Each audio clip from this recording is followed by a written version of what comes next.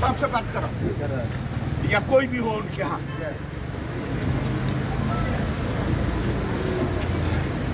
और नहीं तो और नहीं तो फिर प्राइम मिनिस्टर के यहाँ बात करो। अपने डॉक्टर हिरेन देसाई से। No I will not go you are giving them protection here police there is standing here at the police protection I will not go from here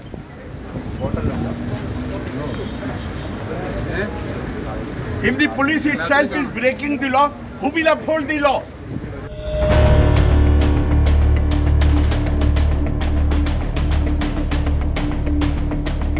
Their police is standing with them.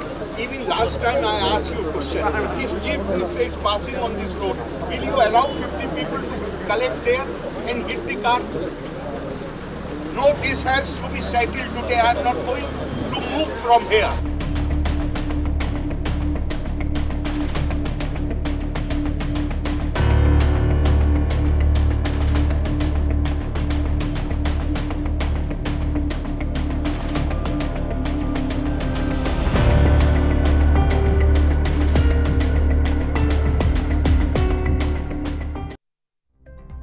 നമസ്കാരം. നിലമേലിൽ നടുറോഡിൽ governor നടത്തിയത് തരംതാണ പ്രകടനമോ? മുഖ്യമന്ത്രിക്കും ഗവർണർക്കും സുരക്ഷയൊരുക്കുന്നതിൽ കേരള പോലീസിന് ഇരട്ടത്താപ്പോ? കേന്ദ്രസേനയുടെ സുരക്ഷ നൽകാനുള്ള തീരുമാനം കേരളത്തിനേറ്റ തിരിച്ചടിയോ? തെരുവ് നാടകം തുടരും.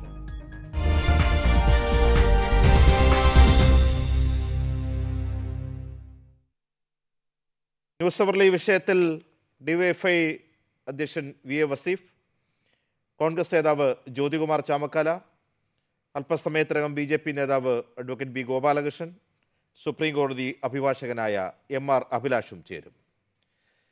ഇന്ന് രാവിലെ പത്ത് നാൽപ്പത്തി അഞ്ചോടെയാണ് ദൃശ്യങ്ങളിൽ കണ്ടതുപോലെ കൊട്ടാരക്കരയിൽ ഒരു ചടങ്ങിന് പോകുന്ന വഴി ഗവർണർക്ക് നേരെ എസ് എഫ് ഐ പ്രവർത്തകർ കരിങ്കൊടി പ്രതിഷേധമുയർത്തിയത് ബാനറുമായ റോഡ് സൈഡിൽ നിന്ന് എസ് എഫ് ഐ പ്രവർത്തകരിൽ നിന്ന് ഒരാൾ പ്രതിഷേധവും മുദ്രാവാക്യങ്ങളുമായി കരിങ്കൊടി വീശി മുന്നോട്ടെടുത്തു. ഏതാണ്ട് അൻപത് മീറ്റർ ഈ പ്രതിഷേധക്കാരൻ വരുമ്പോഴേക്കും ഗവർണറുടെ വാഹനം നിർത്തി. ഗവർണർ വാഹനത്തിൽ നിന്ന് പുറത്തിറങ്ങി. ഗവർണറും ഈ പ്രതിഷേധക്കാരും തമ്മിൽ ഏതാണ്ട് ഇഞ്ചോട് ഇഞ്ച് അടുത്തതാണ് ദൃശ്യങ്ങളിൽ കണ്ടത്. പോലീസ് ഏറെ പണിപ്പെട്ട് പ്രതിഷേധക്കാരെ പിന്നിലേക്ക് മാറ്റി.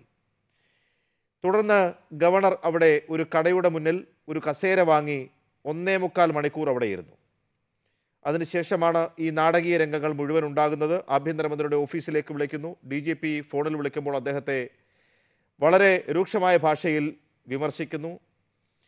മടങ്ങാൻ കഴിയില്ല എന്ന് അദ്ദേഹം പറയുന്നു. ഒടുവിൽ ഈ പ്രതിഷേധക്കാരെ മുഴുവൻ അറസ്റ്റ് ചെയ്തു. പന്ത്രണ്ട് പേരുടെ പേരിൽ പോലീസ് കേസെടുക്കണമെന്ന് ആവശ്യപ്പെട്ടു.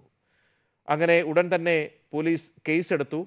കേസെടുത്തു എന്ന് ബോധ്യപ്പെടാൻ വേണ്ടി അദ്ദേഹത്തിന് എഫ് ഐ ആറിന്റെ പകർപ്പ് ആവശ്യപ്പെട്ടു. എഫ് ഐ ആറിന്റെ പകർപ്പ് കണ്ടു. അതിൽ ഗവർണറുടെ സുരക്ഷാ വീഴ്ച വീഴ്ചയുണ്ടായാൽ പാലിക്കേണ്ട പ്രത്യേക ഐ പി സിയിലെ നിയമവ്യവസ്ഥകൾ അടക്കമുണ്ടെന്ന് ഉറപ്പുവരുത്തി അങ്ങനെ ഏതാണ്ട് ഒന്നേ മുക്കാൽ മണിക്കൂറിലധികം നീണ്ട നാടകങ്ങൾക്കൊടുവിലാണ് നിലമേലിലെ ഈ രംഗങ്ങൾ അടങ്ങിയത്. അവിടെ തീർന്നാൽ അതിനുശേഷം വളരെ പെട്ടെന്ന് തന്നെ മുഖ്യമന്ത്രിക്ക് കേന്ദ്രസേനയുടെ സുരക്ഷ എന്ന വിവരം രാജ്ഭവൻ തന്നെ പ്രസിദ്ധപ്പെടുത്തുന്നു. പിന്നീട് വൈകുന്നേരം തിരുവനന്തപുരത്ത് തിരുവനന്തപുരത്ത് ഗവർണർ മുഹമ്മദ് ആരിഫ് ആരിഫ് മുഹമ്മദ് ഖാൻ ഇതേക്കുറിച്ച് പ്രതികരിച്ചു. മുഖ്യമന്ത്രിയും ഇന്ന് ഏറെ നാളത്തെ ഇടവേളയ്ക്ക് ശേഷം കേന്ദ്രവിരുദ്ധ സമരത്തെക്കുറിച്ച് പറയാനാണെങ്കിലും ചോദ്യങ്ങൾക്ക് ശേഷം വളരെ വിശദമായി ഗവർണർക്ക് മറുപടി നൽകി. ഗവർണറുടെയും മുഖ്യമന്ത്രിയുടെയും വാക്കുകളിലേക്ക്. Some people feel when, when unfortunately power goes to your head, then you think that you are above the law. That seems to be the case as far as my feeling is concerned. That you are holding the, uh, you are dressed with, with authority for a brief period of time. Democracy does not make me the ultimate arbiter. Ultimate arbiter are the common people of this country. മനസ്സിലാക്കേണ്ട കാര്യം ഏത് അധികാരസ്ഥാനവും വലുതല്ല അതിനു മേലെയാണ് നിയമം ആ നിയമത്തിന് കീഴെയാണ് ഏത് അധികാരസ്ഥാനവും. ആ നിയമമാണ് സുപ്രീം. അത് കാണണം. അത് മനസ്സിലാക്കാൻ സാധിക്കണം. അഡ്വക്കേറ്റ് ഗോപാലകൃഷ്ണൻ ഇന്ന് നിലവേലിൽ പ്രതിഷേധമുയർത്തുവിൽ ഒരാൾ. ഗവർണറുടെ വാഹന വ്യൂഹത്തിന് നേരെ അടുക്കുമ്പോൾ ഏതാണ്ട് അൻപത് മീറ്റർ അപ്പുറേ പോലീസ് അയാളെ തടഞ്ഞു നിർത്തി. ആ സമയത്താണ് ഗവർണർ വാഹനം നിർത്തി പുറത്തിറങ്ങുന്നതും നേരത്തെ ദൃശ്യങ്ങൾ കണ്ട രംഗമുണ്ടായതും. ഇവിടെ ഗവർണറാണോ പ്രകോപനം സൃഷ്ടിച്ചത്? അതോ ഗവർണർ പറയുന്നത് പോലെ അദ്ദേഹത്തിന് നേരെ നടത്തിയ ഒരു ആക്രമണ ശ്രമമായിരുന്നു അത്?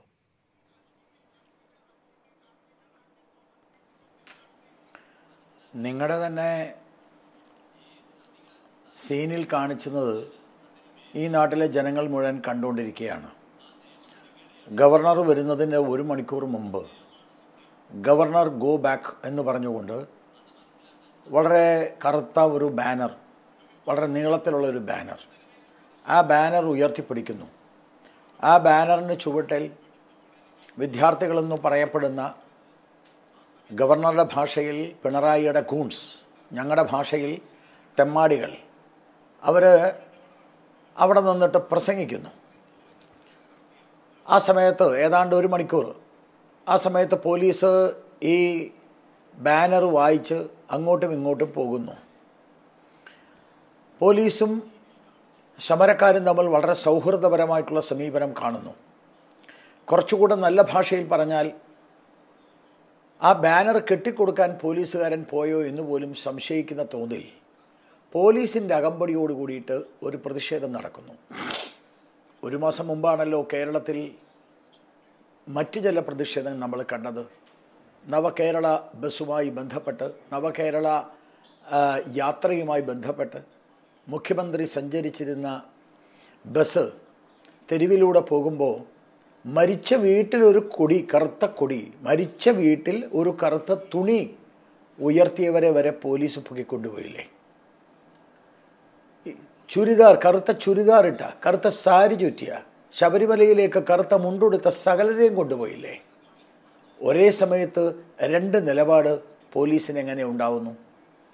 ഞാൻ കറുത്ത മരിച്ച വീട്ടിൽ കറുത്ത തുണി ഉയർത്തിയവരെ പൊക്കിക്കൊണ്ടുപോകണം എന്നല്ല ഞാൻ പറഞ്ഞത്. പക്ഷേ ബഹുമാനപ്പെട്ട ഗവർണർ വരുമ്പോൾ ഗവർണർക്ക് സുരക്ഷ കൊടുക്കേണ്ട കേരളത്തിലെ ആഭ്യന്തര മന്ത്രാലയത്തിന്റെ കീഴിൽ അവരുമായി ബന്ധപ്പെടുന്ന പോലീസുകാർ ഒരുമിച്ചിരുന്ന് സമരക്കാരുമായി സൗഹൃദം പങ്കുവച്ച് സമരത്തിന് വേണ്ട ഒത്താശ ചെയ്തു കൊടുക്കുന്നത് അഭികാമ്യമാണോ? ഗോപാലകൃഷ്ണൻ ജനാധിപത്യ സമരമാണ് കണ്ടോ? പറയുന്നത്. അദ്ദേഹത്തിന് അവിടെ ഇറങ്ങാനുണ്ടായ പ്രകോപനം എന്താണ്? അല്ല നമ്മൾ കണ്ടില്ലേ? അല്ല ഞാൻ ചോദിച്ചത് ഗവർണർ ആരിഫ് മുഹമ്മദ് ഖാൻ നിലവേലിൽ വാഹനം നിർത്തി റോഡിലേക്ക് ഇറങ്ങാനുണ്ടായ പ്രകോപനം എന്താണ്? അല്ല ഞാൻ ചോദിക്കുന്നത് അല്ല ഞാൻ പറഞ്ഞല്ലോ ഇത് പ്രകോപനമൊന്നും വേണ്ട. തെമ്മാടിത്തരം കാണിക്കുമ്പോൾ ആ തെമ്മാടിത്തത്തിന് തെമ്മാടിത്തരം കാണിക്കുമ്പോൾ തെമ്മാടിത്തരത്തിന്റെ ആ ഒരു സമീപനമാണ് കേരളത്തിലെ ഗവർണറോട് ഇടതുപക്ഷവും ഇവിടുത്തെ ഭരണവർഗവും ചെയ്യുമ്പോൾ വളരെ ശക്തമായി പ്രതികരിക്കുന്ന ഒരു ഗവർണറാണ്.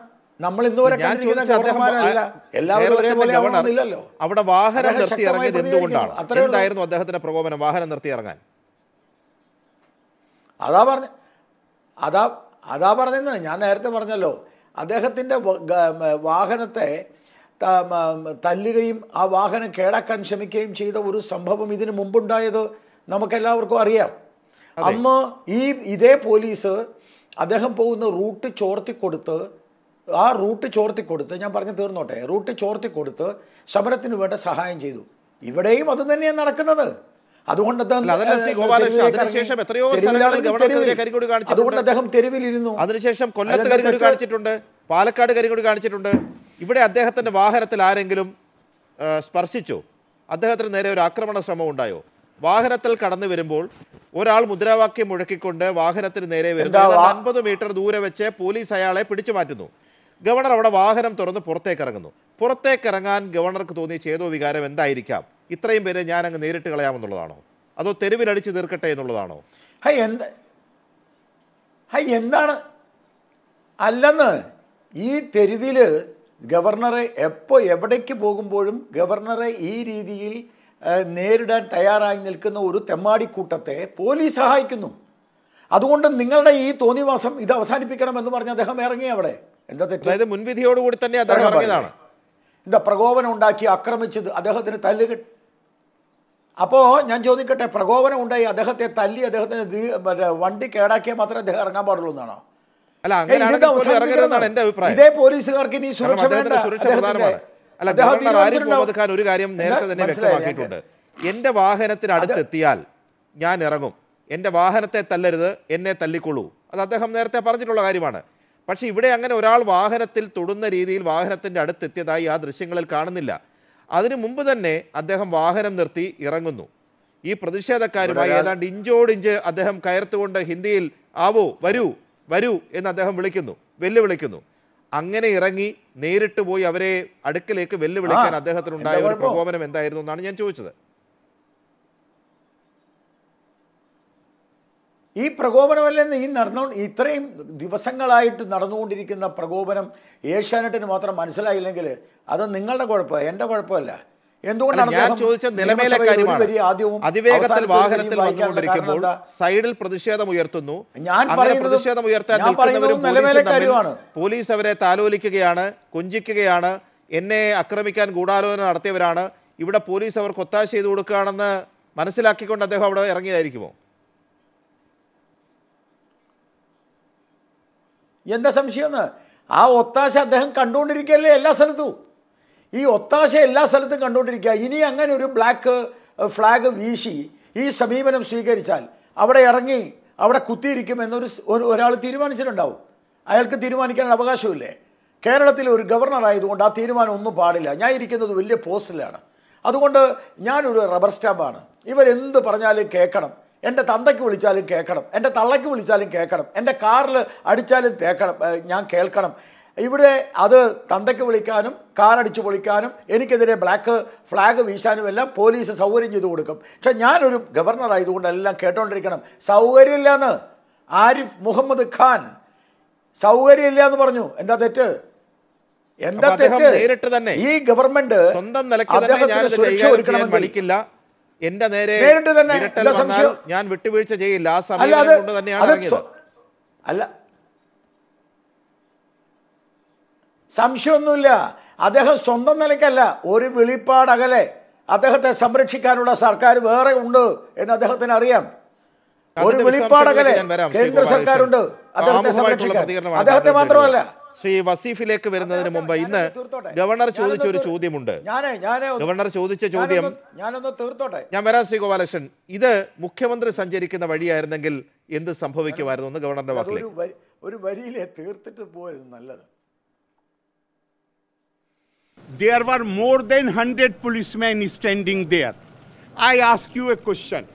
If chief minister is passing by that road, will 22 people will be allowed to gather there with black flags in the presence of, of more than 100 policemen? And I consider Kerala police one of the finest police in the country. Who is stopping them from doing their duty? Who can stop them? It is only the political executive. Who is the head of the political executive? It is chief minister. So who else will be whom? Arif Muhammad ഖാന്റെ ചോദ്യം അതാണ് മുഖ്യമന്ത്രി പിണറായി വിജയനായിരുന്നു ആ വഴിയിൽ പോകുന്നതെങ്കിൽ ഇത്രയും സമരക്കാർക്ക് കറുത്ത banner ഉയർത്തി കറുത്ത കൊടിയുമായി മുദ്രാവാക്യം വിളിച്ചുകൊണ്ട് റോഡരികിൽ നിൽക്കാൻ കഴിയുമായിരുന്നോ കാരണം നവകേരള സദസ്സിൽ മുഖ്യമന്ത്രി പോയ സ്ഥലങ്ങളിൽ ഒരു പ്രതിഷേധത്തിനെത്തുന്നുവെന്ന് സംശയം തോന്നുന്നവരെ പോലും കരുതൽ കസ്റ്റഡിയിലെടുത്തത് സമീപകാലത്ത് കേരളം കണ്ടതുകൊണ്ട് ഗവർണർ ചോദിക്കുന്നു ഈ താരതമ്യത്തിൽ തനിക്ക് നീതിയില്ല. അതുകൊണ്ട് ഇറങ്ങി പ്രതിഷേധിച്ചു വന്ന് ശരിയാണോ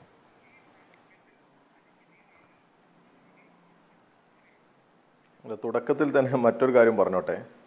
ഏഷ്യാനെറ്റ് ആയതുകൊണ്ടാണോ ഗോപാലകൃഷ്ണൻ ആവർത്തിച്ചാവർത്തിച്ച് കേരളത്തിലെ വിദ്യാർത്ഥികളുടെ ബഹുഭൂരിഭാഗം വിദ്യാർത്ഥികളുടെ പിന്തുണയുള്ള ജനാധിപത്യ രീതിയിൽ കേരളത്തിലെ സർവകലാശാലകളുടെ എല്ലാം അധികാരസ്ഥാനത്തേക്ക് വിദ്യാർത്ഥി പ്രതിനിധികളെ അയക്കാൻ ശേഷിയുള്ള ഒരു സംഘടനയെ അവരുടെ സമ സമരത്തിൽ പങ്കെടുത്തവരെ തെമ്മാടികൾ ഗുണ്ടകൾ എന്നൊക്കെ വിളിക്കുമ്പോൾ അത് കേട്ട് വളരെ ക്ഷമയോടുകൂടി ഇരിക്കുന്ന ഒരു അവതാരകൻ. അതിലല്പം പ്രയാസം എനിക്കുണ്ട് അതുകൊണ്ടാണ് ഞാൻ പറയുന്നത്. ഏഷ്യാനെറ്റിനെ സംബന്ധിച്ചിടത്തോളം കേരളത്തിലെ ഭരണകൂടത്തെ കേരളത്തിലെ ഭരണ സംവിധാനത്തെ തെമ്മാടി ഭരണം എന്ന് വിളിക്കുന്നതും നിങ്ങൾക്ക് അലങ്കാരമാണ്. നിങ്ങൾക്കത് അംഗീകരിക്കാവുന്ന രീതിയും ഭാഷയുമൊക്കെയാണ് എന്നാൽ ഗോപാലകൃഷ്ണനെ പോലെയുള്ളവർ ഇങ്ങനെ പറയും. കാരണം അവർ പഠിച്ചതും അവർ ഈ രാജ്യത്ത് നടപ്പിലാക്കാൻ പോകുന്നതും തങ്ങളെ എതിർക്കുന്നവരെയെല്ലാം ഇതുപോലെ ആക്ഷേപിക്കുകയും ആക്രമിക്കുകയും ചെയ്യണം എന്നുള്ള നിലയിൽ തന്നെയാണ്. ഈ ഗവർണർ ആരിഫ് മുഹമ്മദ് ഖാൻ ഉപയോഗിക്കുന്ന അതേ ഭാഷ ഏഷ്യാനെറ്റിന്റെ ചില ആളുകൾ ഉപയോഗിക്കുന്ന ഭാഷ ഇപ്പോൾ ഗോപാലകൃഷ്ണനും ഉപയോഗിക്കുന്നു. അത് തെറ്റാണ്. രാഷ്ട്രീയമായി ഗോപാലകൃഷ്ണൻ പറയുന്ന നിങ്ങൾക്കെതിരായ വിമർശനങ്ങൾക്ക് മറുപടി പറയാനാണ് താങ്കൾ വന്നിരിക്കുന്നത്. ഞാൻ അവതാരകനാണ്. താങ്കൾക്ക് മറുപടി പറയാം. അല്ല അതൊക്കെ അവിടെ ഇരിക്കട്ടെ. അതൊക്കെ അതൊക്കെ അങ്ങനെ ഇരിക്കട്ടെ. ഏഷ്യാനെറ്റിൻ ഏഷ്യാനെറ്റിന്റെ ജാതകം പരിശോധിക്കണോ? ഞാൻ എന്ത് പറയണമെന്ന് നിങ്ങൾ തീരുമാനിക്കണ്ട കേട്ടോ? അല്ല എന്റെ ഫോറത്തിലിരുന്ന് എന്റെ ഫോറത്തിലിരുന്ന് എന്റെ മാധ്യമത്തെ? ഇകഴ്ത്തി പറഞ്ഞാൽ ഞാൻ നിശബ്ദനായി ഞാൻ- ഇരിക്കത്തുമില്ല. അത് വെച്ചാൽ അല്ലല്ല അല്ലല്ല. നിങ്ങളെ മാധ്യമത്തെ അല്ല നിങ്ങളുടെ മാധ്യമത്തെ തന്നെ പറയും. എന്താ പറയുന്നതിന് അല്ല നിങ്ങൾക്ക് ആരിഫ് മുഹമ്മദ്. ഖാനാണോ പ്രശ്നം? ഏഷ്യാനെറ്റ് പ്രശ്നം. നിങ്ങളുടെ മുഖ്യമന്ത്രിയെ പരസ്യമായി വെല്ലുവിളിച്ച്. പരിഹസിച്ചതിൽ പ്രതികരണമുണ്ടോ എന്ന് ചോദിച്ചപ്പോൾ ആ ക്വസ്റ്റനിൽ കൊത്താൻ മടിയുണ്ടെങ്കിൽ. പറഞ്ഞാൽ മതി ഞാൻ അടുത്ത ആളിലേക്ക് പൊക്കോളാം. രാഷ്ട്രീയം. അല്ല ഞാൻ പറഞ്ഞോട്ടെ നിങ്ങൾ ഒരു ഒരു മടിയും ഇല്ല നിങ്ങൾ എന്നാ പിന്നെ പോരട്ടെ. എന്നാ പിന്നെ മറുപടി പോരട്ടെ. ആരിഫ് മുഹമ്മദ് ഖാന്റെ കാര്യത്തിൽ മുട്ടടിക്കുന്നില്ലെങ്കിൽ ഞാൻ ചോദിച്ചത് നേരിട്ടുള്ള ചോദ്യമാണ്. അതിനുള്ള മറുപടി ഉണ്ടെങ്കിൽ പറയാം. ഞാൻ പറയട്ടെ ഞാൻ പറഞ്ഞു വന്നോട്ടെ. നിങ്ങൾ ഇങ്ങനെ അസഹിഷ്ണുത കാണിക്കല്ലേ? നിങ്ങൾക്ക് ഇങ്ങനെ അസഹിഷ്ണുത ഉണ്ടാവല്ലേ? ഈ ആരിഫ് മുഹമ്മദ് ഖാന്റെ രാഷ്ട്രീയവും ആരിഫ് മുഹമ്മദ് ഖാൻ ഇവിടെ പറഞ്ഞു വെക്കാൻ ഉദ്ദേശിക്കുന്നതും ഗോപാലകൃഷ്ണൻ പറയാൻ ഉദ്ദേശിക്കുന്നതും ഏഷ്യാനെറ്റിലെ ചിലർ പറയാൻ ഉദ്ദേശിക്കുന്നതും എന്താ എന്നൊക്കെ ഈ കേരളത്തിലെ ജനങ്ങൾക്കറിയാം. നിങ്ങളുടെ ഭാഷകളിലെ ഐക്യമുണ്ടല്ലോ. നിങ്ങളുടെ ഈ വല്ലാത്ത ഈ കൂട്ടുകെട്ട് ജനങ്ങളുടെ അട്ടിപ്പേർ അവകാശം വേറല്ല പേരണ്ട ഞാൻ ഗോപാലകൃഷ്ണനോട് ചോദിച്ചത് ഗവർണർ കാണിച്ച പ്രവൃത്തിയെ കുറിച്ച് തന്നെയാണ്. അതിനുശേഷം നിങ്ങൾ ഇടതുപക്ഷത്തിന്റെ പ്രതിനിധിയായിട്ടുള്ള നിങ്ങളോട് ഞാൻ ചോദിക്കുന്നു. മുഖ്യമന്ത്രിക്കും ഗവർണർക്കും രണ്ട് നീതി എന്ന ആരിഫ് മുഹമ്മദ് ഖാന്റെ വിമർശനത്തോട് നിങ്ങളുടെ മറുപടി എന്താണ്? നിങ്ങൾക്ക് ഇഷ്ടപ്പെട്ടവർ സമരം ചെയ്യുമ്പോ അതെന്തോ ജനാധിപത്യ സമരമായി നിങ്ങൾ വായിക്കുക. ഇത് ഏഷ്യാനെറ്റിന്റെ ഒരു സ്ഥിരം രീതിയാ. ഇവിടെ നിങ്ങൾ ഏഷ്യാനെറ്റിന്റെ ജാതകം വായിക്കാൻ വേണ്ടി വന്നതാണോ അതോ നിങ്ങളുടെ രാഷ്ട്രീയ പാർട്ടിയുടെ? നിലപാട് പറയാൻ വന്നതാണോ? അറിയാത്തത് കൊണ്ട് ചോദിച്ചതാണ്. അറിയാത്തത് കൊണ്ട് ചോദിച്ചതാണ്. എന്താ നിങ്ങൾ ചോദിക്കാത്തത്? ചോദിക്കണ്ടേ. കേരളത്തിലെ വിദ്യാർത്ഥികൾ കേരളത്തിൽ ഏഷ്യാനെറ്റിന്റെ ജാതകമാണെങ്കിൽ ഏഷ്യാനെറ്റിന്റെ ജാതകം പരിശോധിക്കണം. ഞാൻ അങ്ങനെ ജാതകം പരിശോധിക്കാൻ നിങ്ങളുടെ നിലപാടുകളെ കുറിച്ചാണ് പറയുന്നത്. നിങ്ങൾ ഈ കേരളത്തിലെ വിദ്യാർത്ഥികൾ എന്തിനാ സമരം ചെയ്യുന്നത്? അവർ തെമ്മാടികളായതുകൊണ്ടാണോ? എന്താ നിങ്ങൾ അത് കേട്ടിരിക്കുന്നത്? അത് ബി ഗോപാലകൃഷ്ണൻ പറഞ്ഞാൽ അതിന് മറുപടി പറയാനല്ലേ നിങ്ങളെ ചർച്ചയിൽ വിളിച്ചിരിക്കുന്നത്? ഈ സെനറ്റിലേക്ക് വസീഫിന് മറുപടി പറയാമല്ലോ. വസീഫിനെ ആരിഫ് മുഹമ്മദ് ഖാൻ മുഖ്യമന്ത്രി പിണറായി വിജയനെ ഈഴ്ത്തിയാലും പരസ്യമായി അധിക്ഷേപിച്ചാലും മറുപടിയില്ല ബി ഗോപാലകൃഷ്ണൻ പറഞ്ഞതല്ല പ്രശ്നം. നിങ്ങൾക്കിപ്പോൾ ഏഷ്യാനെറ്റ് ന്യൂസ് ആണ് പ്രശ്നം ഞാൻ വീണ്ടും ചോദിക്കുന്നു എന്റെ ചോദ്യം ഡയറക്റ്റ് ആണ്. ഈ പാനൽ നാല് പേരുണ്ട്. തമ്മിൽ തർക്കിച്ച് സമയം കളഞ്ഞ് വിഷയത്തിൽ നിന്ന് വ്യതിചലിക്കാൻ അദ്ദേഹം ദയവ് ചെയ്ത് വസീഫ് ശ്രമിക്കരുത്. ഞാൻ ചോദിക്കുന്ന വളരെ ഡയറക്റ്റ്. ക്വസ്റ്റൻ ആണ്. മുഖ്യമന്ത്രി പിണറായി വിജയൻ കടന്നു പോകുമ്പോൾ പ്രതിഷേധിക്കുന്നവരെ നേരിടുന്ന രീതിയും ആരിഫ് മുഹമ്മദ് ഖാൻ കടന്നു പോകുമ്പോൾ പ്രതിഷേധക്കാരെ നേരിടുന്ന രീതിയും രണ്ടാണ് എന്ന് സംസ്ഥാനത്തെ ഗവർണർ പറയുന്നു. ശരിയാണോ? നിങ്ങൾക്കതിൽ വിമർശനമുണ്ടോ? നിങ്ങളുടെ മറുപടി പറയാം. അല്ല നിങ്ങൾ നിങ്ങളുടെ അഭിപ്രായം എന്താ അതിനകത്ത്? അതോടൊന്ന് കേൾക്കട്ടെ എന്നിട്ട് അതുകൂടി കൂട്ടി പറയാലോ. നിങ്ങളെയും കൂടി പറയാലോ. എന്തെങ്കിലും ഉണ്ടോ? ഇവിടെ ഗവർണർ എന്താ ചെയ്തുകൊണ്ടിരിക്കുന്നത്? ഗവർണർക്കെതിരെയുള്ള സമരം എന്തിനാണ്? എസ് എഫ് ഐ സംഘടന വളരെ കൃത്യമായി ഈ കേരളത്തിലെ സെനറ്റിലേക്ക് ന്യായമായും നോമിനേറ്റ് ചെയ്യപ്പെടേണ്ടവരെ മാറ്റി നിർത്തി ആർ എസ് എസുകാരൻ നോമിനേറ്റ് ചെയ്യാൻ ഈ ഗവർണർ കാണിച്ച താല്പര്യത്തെ ചോദ്യം ചെയ്തു. എവിടെ നിന്നാണ് ഈ ലിസ്റ്റിൽ ഉൾപ്പെട്ട ആർ എസ് എസുകാരെയും എ ബി വി പിക്കാരെയും കൊല കൊലക്കേസിൽ പ്രതിയായവരുടെ കുടുംബാംഗങ്ങളെയും ഒക്കെ നിങ്ങൾക്ക് കിട്ടിയത് എന്ന് ചോദ്യം ചോദിക്കുന്നു. അതിനെതിരെ ചാൻസലർ എന്നുള്ള പദവി ആ പദവിയിലിരിക്കുന്ന ആൾക്കെതിരെയാണ് കേരളത്തിലെ വിദ്യാർത്ഥി സംഘടന സമരം ചെയ്യുന്നത്. അങ്ങനെ സമരം ചെയ്യുന്നവരെ എന്തിനാ നിങ്ങൾ ഇങ്ങനെ ആക്ഷേപിക്കുന്നത്? ആ സമരം വളരെ ജനാധിപത്യ രീതിയിലല്ലേ നടത്തിയത്? നിങ്ങൾ തന്നെ ഇവിടെ പറഞ്ഞു അമ്പത് മീറ്റർ അപ്പുറത്തു എന്നുള്ളത്. ഈ ഗവർണറുടെ വാഹനത്തിന് നേരേക്ക് വന്നോ? ഗവർണർക്ക് എന്തെങ്കിലും ഒരു പോറലേറ്റോ? ഗവർണറുടെ വാഹനത്തിന് നേരെ എറിഞ്ഞോ? ഒന്നും നടന്നില്ലല്ലോ. കരിങ്കോടി പ്രതിഷേധമല്ലേ നടത്തിയത്? ഇതേ ചോദ്യം നിങ്ങളോട് ചോദിക്കാൻ ഞങ്ങൾ ഇവിടെ മുഖ്യമന്ത്രിക്കെതിരെ ഈ സമരമാകുമ്പോൾ അത് ആഹാ എന്നാൽ ഗവർണർക്കെതിരെ ആകുമ്പോൾ ഓഹോ അതല്ലേ നിങ്ങളുടെ നിലപാട്? ഇവിടെ ഗവർണർക്കും എല്ലാ വി ഐ പികൾക്കും സുരക്ഷ കൊടുക്കാനുള്ള സംവിധാനം കേരളത്തിലുണ്ട്. ആ സംവിധാനം സുരക്ഷാ സംവിധാനം കൊടുത്തുകൊണ്ട് തന്നെ പോകുന്നത്. എന്നാൽ ഇദ്ദേഹത്തിന്റെ ഉദ്ദേശം എന്താ? ഗവർണറുടെ ഗവർണറുടെ ഉദ്ദേശം വേറെ പലതുമാണ്. ആ ഉദ്ദേശത്തിന് വേണ്ടി ആ തെരുവിലിറങ്ങുന്നത്. അങ്ങനെ തെരുവിലിറങ്ങി ഈ കേരളത്തെ ആകെ വെല്ലുവിളിച്ച് ഇവിടെ എന്തോ പ്രശ്നമുണ്ട് എന്ന് ചിത്രീകരിക്കാനുള്ള ശ്രമം അദ്ദേഹത്തിനുള്ളത്. അദ്ദേഹത്തെ കായികമായി നേരിടാൻ എസ് എഫ് ഐയോ മറ്റു സംഘടനകളോ തീരുമാനിച്ചിട്ടില്ല. അദ്ദേഹത്തെ ജനാധിപത്യ രീതിയിലുള്ള പ്രതിഷേധം അറിയിക്കുക എന്നുള്ളതാണ്. അത് തുടർച്ചയായി ഈ കേരളത്തിലെ വിദ്യാർത്ഥികൾ കാണിച്ചുകൊണ്ടേയിരിക്കുക. ഒരു പോറൽ പോലും ഈ ഗവർണറാണെന്ന് ആഗ്രഹിക്കുകയോ അത് പ്രഖ്യാപിക്കുകയോ ചെയ്ത സംഘടനയല്ല എസ് എഫ് ഐ. തീർച്ചയായിട്ടും ഗവർണറാണ്. ജനാധിപത്യ രീതിയിൽ പ്രതിഷേധം നടത്തുന്ന എസ് എഫ് ഐക്കാരെ ആ എസ് എഫ് ഐക്കാരെ ചൂണ്ടിക്കാണിച്ച് ഗുണ്ടകളെന്നും മറ്റു പല പേരുകളും വിളിച്ചുകൊണ്ട് ആക്ഷേപിച്ചുകൊണ്ട് ഈ തെരുവിൽ പ്രകോപനം ഉണ്ടാക്കുന്നത് ഈ ആരിഫ് മുഹമ്മദ് ഖാനാണ്. ചാൻസലർക്കെതിരെ നടക്കുന്ന ഈ സമരത്തെ ആ വിദ്യാർത്ഥികൾ ഉയർത്തുന്ന ന്യായമായ ആവശ്യത്തെ കാണാതെ മുന്നോട്ട് പോകുമ്പോൾ വിദ്യാർത്ഥികൾ ഈ ജനാധിപത്യ കേരളത്തിനകത്ത് സമരം ചെയ്യുകയല്ലാതെ മറ്റെന്ത് ചെയ്യണമെന്നാണ് നിങ്ങൾ പറയുന്നത്? അവർ ന്യായമായും സമരവുമായി മുന്നോട്ട് പോകും. എന്നാൽ ഈ ഗവർണറോ എല്ലാ പ്രോട്ടോകോളുകളും ലംഘിച്ചുകൊണ്ട് അദ്ദേഹം തെരുവിലിറങ്ങുക. അമ്പത് മീറ്റർ അപ്പുറത്ത് അദ്ദേഹത്തിന്റെ വാഹനം കടന്നു പോകുമ്പോൾ വാഹനത്തിന്റെ മുമ്പിൽ കൂടി മുമ്പിൽ കൂടി വന്ന് തടയുന്ന രീതി ഒന്നും ഉണ്ടായിട്ടില്ല. അമ്പത് മീറ്റർ അപ്പുറത്താണ് നമ്മൾ കാണുക. എന്നിട്ട് അദ്ദേഹം പറയുന്നത് എന്താ? അദ്ദേഹം കള്ളം പറയല്ലേ? അദ്ദേഹത്തെ ആക്രമിക്കാൻ വന്നു. അദ്ദേഹത്തിന് തടസ്സമുണ്ടായി എന്നൊക്കെ ഒരു പ്രശ്നവും ഉണ്ടായിട്ടില്ല. എന്നിട്ട് ഡി ജി പി വരണം മുഖ്യമന്ത്രി വരണം പ്രധാനമന്ത്രി വരണം എന്നൊക്കെ പറഞ്ഞ് ആരെയാ ഇദ്ദേഹം ഇങ്ങനെ ആക്ഷേപിക്കുന്നത്? ശരി അപ്പൊ പ്രകോപനം ഉണ്ടാക്കിയത് ഗവർണർ തന്നെയാണ്? ഗവർണർ ചോദിച്ച ചോദ്യം വസീഫിനോട് നേരത്തെ ഉന്നയിച്ചിരുന്നു. ഞാനത് ആവർത്തിക്കുകയാണ്. അതായത് ഇപ്പോൾ മുഖ്യമന്ത്രി പിണറായി വിജയനാണ് അതുവഴി കടന്നു പോകുന്നത് മുഖ്യമന്ത്രിക്കെതിരെ പ്രതിഷേധം ഉണ്ടാകുമെന്നുള്ള അറിയിപ്പ് പോലീസിനുണ്ട്. അങ്ങനെയാണെങ്കിൽ പതിനേഴ് പേർക്ക് കറുത്ത ബാനറും കറുത്ത കൊടിയുമായി ആ വാഹനം കടന്നു പോകുമ്പോൾ ഇതേപോലെ റോഡരിയിൽ നിന്ന് കരിങ്കൊടി കാണിക്കാൻ പറ്റുമായിരുന്നോ. അവരെ നിങ്ങൾ കരുതൽ കസ്റ്റഡിയിൽ എടുക്കുമായിരുന്നു. ഇത് ഗവർണർ ആയതുകൊണ്ട് അവിടെ പോലീസ് അവർക്കുള്ള സൗകര്യം ഏർപ്പെടുത്തി കൊടുത്തു എന്നാണ് പറയുന്നത്. സമീപകാലത്ത് കേരള കണ്ടം ഈ രണ്ട് ദൃശ്യങ്ങൾ തമ്മിലും ഈ താരതമ്യം തമ്മിലും ഗവർണറുടെ വിമർശനത്തിന് അടിസ്ഥാനമുണ്ടോ. അവിടെ യൂത്ത് കോൺഗ്രസ് ആയിരുന്നു മുഖ്യമന്ത്രിക്കെതിരെ നിന്നിരുന്നതെങ്കിൽ അവിടെ നിൽക്കാനോ ബാനർ ഉയർത്തുവാനോ കേരള പോലീസ് സമ്മതിക്കുമായിരുന്നു.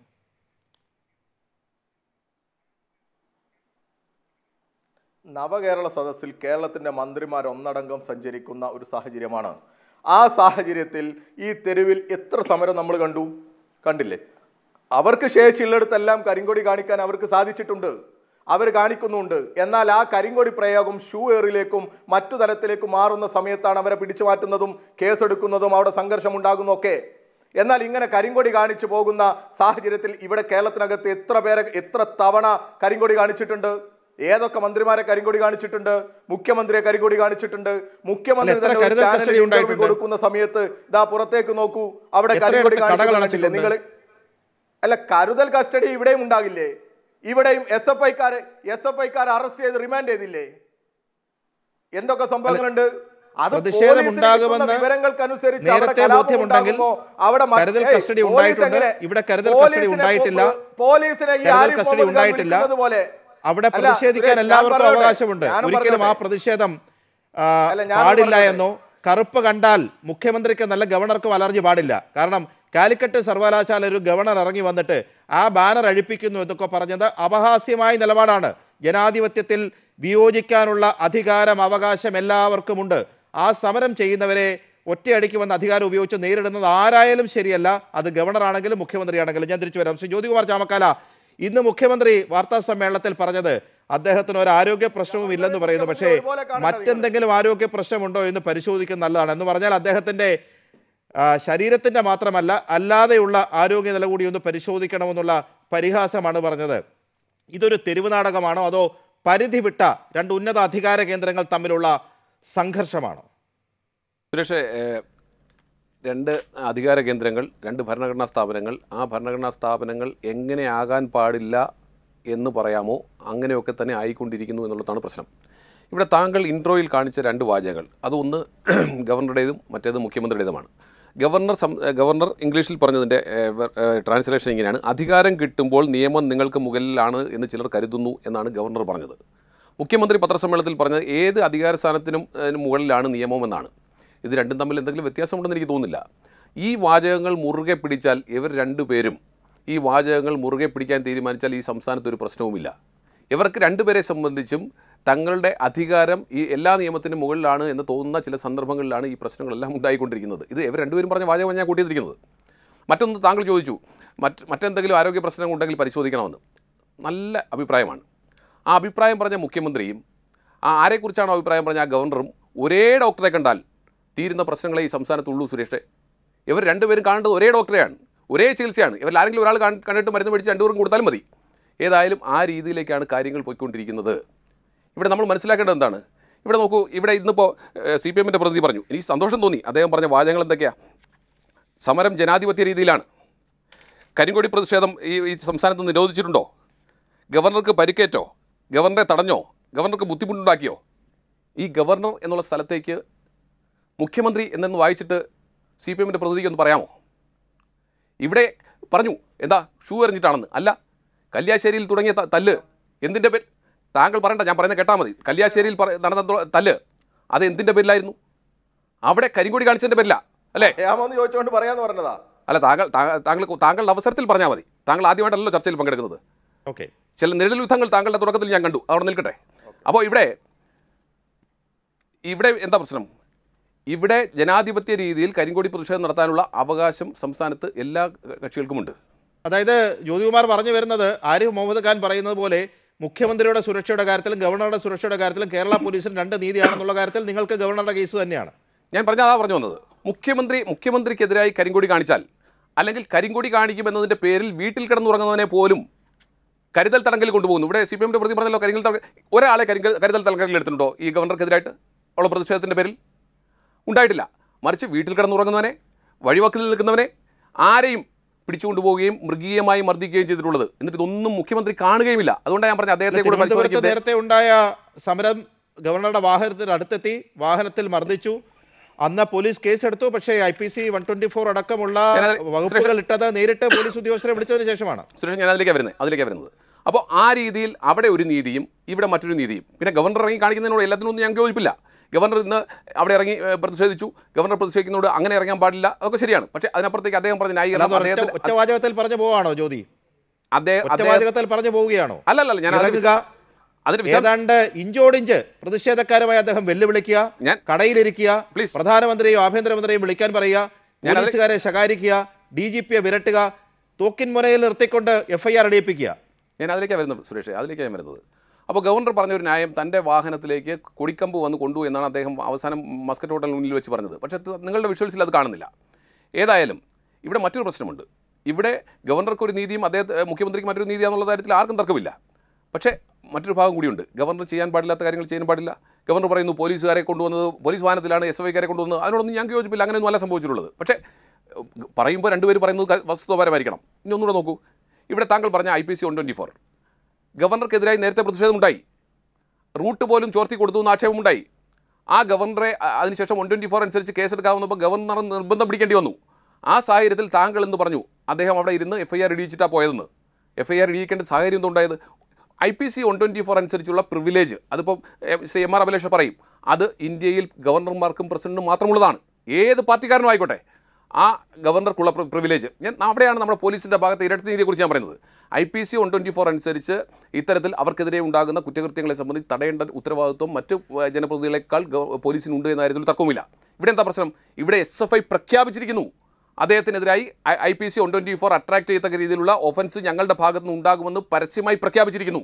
പ്രഖ്യാപിച്ചതിന് ശേഷം അവർ കൊടിത്തോരണങ്ങളുമായി ആ എം സി റോഡിൽ കാത്തു നിൽക്കുന്ന മണിക്കൂറോളം അവിടെ യൂത്ത് കോൺഗ്രസ് മുഖ്യമന്ത്രിയെ കാത്തു നിന്നാണെങ്കിൽ അങ്ങനെ നിർത്തുമായിരുന്നോ? അവരെ തട്ടും തലോടിയും അവരെ താലോലിച്ചും പോലീസുകാർ കടന്നു പോകുന്നു നമ്മൾ കണ്ടതല്ലേ? അവിടെ ഇരട്ടി നിന്ന് നമുക്ക് പറയാതിരിക്കാൻ കഴിയുമോ?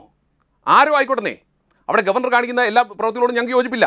ഗവർണർ ഈ പറയുന്ന ആർ എസ് എസ്സുകാരെ സെൻട്രലിലേക്ക് സിൻഡിക്കിലേക്ക് നോമിനേറ്റ് ചെയ്യുന്നതിന് ഞങ്ങൾക്ക് യോജിപ്പില്ല. പക്ഷേ അവിടെ one twenty four I P C one twenty ഫോറിന്റെ പ്രിവിലേജുള്ള ഒരാൾ അദ്ദേഹത്തിന് ഇങ്ങനെ ഉണ്ടാകുമെന്നും അദ്ദേഹത്തെ ഞങ്ങളിങ്ങനെ തടയുമെന്നും പരസ്യമായി എസ് ഐ പറഞ്ഞിരിക്കെ. അതിന് കരുതി കൂട്ടി ബാനറുമായി റോഡ് സൈഡിൽ നിൽക്കുമ്പോൾ അവരെ ഒന്ന് കസ്റ്റഡിയിൽ എടുക്കാൻ പോലീസിന് കഴിയാതെ പോയത് എന്തുകൊണ്ടാണ് ഓക്കെ സോ സോ ഞാനല്ല പ്ലീസ് എല്ലാവർക്കും കൂടുതൽ സമയം എനിക്കൊന്നും വേണമല്ലോ. ഇവിടെ എന്താ പ്രശ്നം? ഇവിടെ നമ്മൾ മനസ്സിലാക്കേണ്ട ഒരു കാര്യം. ഇവിടെ ഞാൻ ഒന്ന് രണ്ട് കാര്യങ്ങൾ കൂടി പറഞ്ഞ് അവസാനിപ്പിക്കാം. ഇവിടെ ഗവർണർ ഗവർണറെ സംബന്ധിച്ച് ഞാൻ വീണ്ടും പറയുന്നു ഗവർണർ പോലീസ് വാഹനത്തിലാണ് കൊണ്ടുവന്നതിനോട് ഞാൻ യോജിപ്പില്ല. ഗവർണർ ഇങ്ങനെ സംഘർഷ സാധ്യതയുള്ള സ്ഥലത്ത് ഇറങ്ങി വെള്ളം ഉണ്ടാക്കുന്നതോട് ഞാൻ യോജിപ്പില്ല. ഗവർണർക്ക് സഞ്ചാര സ്വാതന്ത്ര്യത്തിനുള്ള അവകാശമുണ്ട് മുഖ്യമന്ത്രിക്ക് സഞ്ചാര സ്വാതന്ത്ര്യത്തിനുള്ള അവകാശമുണ്ട് ഒക്കെ ശരിയാണ്. പ്രതിഷേധിക്കാനുള്ള അവകാശം വിദ്യാർത്ഥി സംഘടനകൾക്കും യുവജന സംഘടനകൾക്കുമുണ്ട്. അതൊക്കെ മനസ്സിലാക്കിക്കൊണ്ട് ഈ രണ്ട് സമര രീതികളെയും നമ്മളൊന്ന് വിലയിരുത്തിയാൽ നമുക്ക് കാര്യങ്ങൾ ബോധ്യപ്പെടും. ഇനി ഇതിനപ്പുറത്തേക്ക് ഈ സംസ്ഥാനം അടിസ്ഥാനപരമായ പ്രശ്നം എന്താണ്? മുഖ്യമന്ത്രിയും ഗവർണറും തമ്മിൽ ഇങ്ങനെ കള്ളനും പോലീസ് കളിക്കുകയാണ്. കണ്ടാൽ മിണ്ടില്ല. പിണങ്ങിയിരിക്കുക മുഖം വീർപ്പിച്ചിരിക്കുക. രണ്ട് ഭരണഘടനാ സ്ഥാപനങ്ങളാണെന്നേ. നിങ്ങൾ തമ്മിലുള്ള പ്രശ്നം എന്താണ് കേരളത്തിന് അറിയണ്ടേ? നിങ്ങളുടെ പ്രശ്നത്തിന് എന്താണ് പരിഹാരം കേരളത്തിന് അറിയണ്ടേ? നിങ്ങളിങ്ങനെ ആ, നിങ്ങളുടെ എന്താ പറയുന്നത് നിങ്ങളുടെ വിഷയം തെരുവിലേക്ക് വലിച്ചഴിച്ച് നിങ്ങൾ തെരുവിൽ സംഘർഷം ഉണ്ടാക്കി പോലീസും കേന്ദ്രവുമായിട്ടുള്ള തർക്കമായി മാറ്റുന്നു. എന്തിനു വേണ്ടി? എന്താണ് നിങ്ങളുടെ അടിസ്ഥാനപരമായ പ്രശ്നം? നിങ്ങൾ രണ്ടുപേരും പറയണ്ടേ? ഇപ്പോൾ ഞാൻ ഒന്നുകൂടെ പറഞ്ഞ് അവസാനിപ്പിക്കാം. ഇവിടെ സി പി എമ്മിന്റെ പ്രതി പറഞ്ഞു സെനറ്റിലേക്ക് നോമിനേറ്റ് ചെയ്തതുമായി ബന്ധപ്പെട്ട തർക്കമുണ്ട്. ഞങ്ങൾക്ക് അഭിപ്രായ വ്യത്യാസമുണ്ട്. സെനറ്റിലേക്ക് ഈ പറയുന്ന പ്രത്യേകിച്ച് നാല് വിദ്യാർത്ഥികളെ രണ്ട് സെന്ററിലേക്കും കോഴിക്കോടും കേരളയിലേക്കും നാല് വിദ്യാർത്ഥികളെ സെനറ്റിലേക്ക് നോമിനേറ്റ് ചെയ്തത് ആർ എസ് എസ്സുകാരാണ് എ ബി യു പിക്കാരാണ്. അവരെ അങ്ങനെ ചെയ്യാൻ പാടില്ല. അക്കാഡമിക്കലി ബ്രില്യന്റ് ആയിട്ടുള്ള ആളുകളെ തന്നെ ചെയ്യണം. മുൻകാലങ്ങളുള്ള നിയമം അനുസരിച്ച് ചാൻസലറുടെ ഗവർണറെ നിന്ന് വൈസ് ചാൻസലറുടെ നിന്ന് ലിസ്റ്റ് വാങ്ങിയതിന് ശേഷം അതിൽ ഏറ്റവും മെറിറ്റോറിയസ് ആയിട്ടുള്ള സ്റ്റുഡൻസിനെ വെക്കണം. അത് നമുക്ക് പ്രതിഷേധമുണ്ട്. ഞങ്ങളെല്ലാം പ്രതിഷേധിക്കുന്നുണ്ട്. പക്ഷേ ആ പ്രതിഷേധത്തിന്റെ ഭാഗമായി ഇതേ എസ് എഫ് ഐ കോടതിയിൽ പോയിരിക്കല്ലേ? കോടതി അത് സ്റ്റേ ചെയ്തിരിക്കല്ലേ? അത് ജുഡീഷ്യറിയുടെ സ്ക്രൂട്ടിനിക്ക് വിധേയമായിക്കൊണ്ടിരിക്കുകയല്ലേ? പിന്നെ ഇത്തരത്തിലുള്ള ഈ സമരവുമായി നിങ്ങൾക്ക് പ്രതിഷേധിക്കാം? നിങ്ങൾ പ്രതിഷേധിച്ചോളൂ. തർക്കമില്ല. എന്തായാലും മുഖ്യമന്ത്രി പറഞ്ഞത് ഏറ്റവും കൂടുതൽ സുരക്ഷ സംസ്ഥാനത്ത് കിട്ടുന്ന ഒരാൾ കുറച്ച് പേരുകൾ മുഖ്യമന്ത്രി പറഞ്ഞിട്ട് പറഞ്ഞു കേന്ദ്രസേനയുടെ സുരക്ഷയിൽ കഴിയുന്ന കുറച്ച് ആർ എസ് എസുകാരുടെ പട്ടികയിലേക്ക് സ്വയം ചുരുങ്ങാൻ തീരുമാനിച്ചു. എന്തായാലും സി ആർ പി എഫ് സുരക്ഷയിൽ രാജ്യത്ത് രണ്ടാമത്തെ ഗവർണറായി ആരിഫ് മുഹമ്മദ് ഖാൻ മാറുകയാണ്. അതെന്തുകൊണ്ടാണ്? അത് സംസ്ഥാനത്തിന് തിരിച്ചടിയാണോ? ഏകപക്ഷീയമായ കേന്ദ്ര തീരുമാനമാണോ? ആർ അഭിലേഷിലേക്ക് വരാം ഇടവേളയ്ക്ക് ശേഷം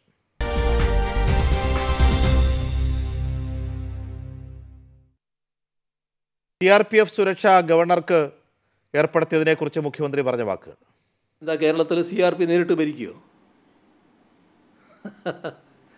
സി ആർ പിയിലെ കേരളം കാണാത്ത ഒരു കാര്യമാണോ? എന്താണ് അദ്ദേഹം ധരിച്ചിട്ടുള്ളത്? സി ആർ പിക്ക് നേരിട്ട് കേസെടുക്കാൻ പറ്റുമോ സി ആർ പിക്ക് നേരിട്ട് ഇറങ്ങി കാര്യങ്ങൾ നിർവഹിക്കാൻ പറ്റുമോ അദ്ദേഹത്തിന്റെ സുരക്ഷയ്ക്ക് ഏതെങ്കിലും തരത്തിലുള്ള പ്രശ്നങ്ങൾ ഇതുവരെ ഉണ്ടായിട്ടുണ്ടോ ഇവിടെ? അദ്ദേഹം ആഗ്രഹിക്കുന്ന രീതിയിൽ സി ആർ പിക്ക് ഇറങ്ങി ഇവിടെ പ്രവർത്തിക്കാൻ കഴിയുമോ? അദ്ദേഹം ആഗ്രഹിക്കുന്ന രീതിയിൽ പോലീസ് പ്രവർത്തിക്കണം എന്നാണല്ലോ അദ്ദേഹം നിർദ്ദേശിച്ചുകൊണ്ടിരുന്നത് അങ്ങനെ പ്രവർത്തിക്കാൻ ഇവിടെ സി ആർ പിക്ക് കഴിയുമോ? എം ആർ അഭിലാഷ് ഈ ലോ ആൻഡ് ഓർഡർ ഒരു സ്റ്റേറ്റ് സബ്ജക്റ്റാണ് പോലീസിന്റെ പ്രധാനപ്പെട്ട ചുമതലകളിൽ ഒന്നാണ് സുരക്ഷ. കുറ്റാന്വേഷണം ഗതാഗതം അതേപോലെ തന്നെ ഈ സുരക്ഷയും.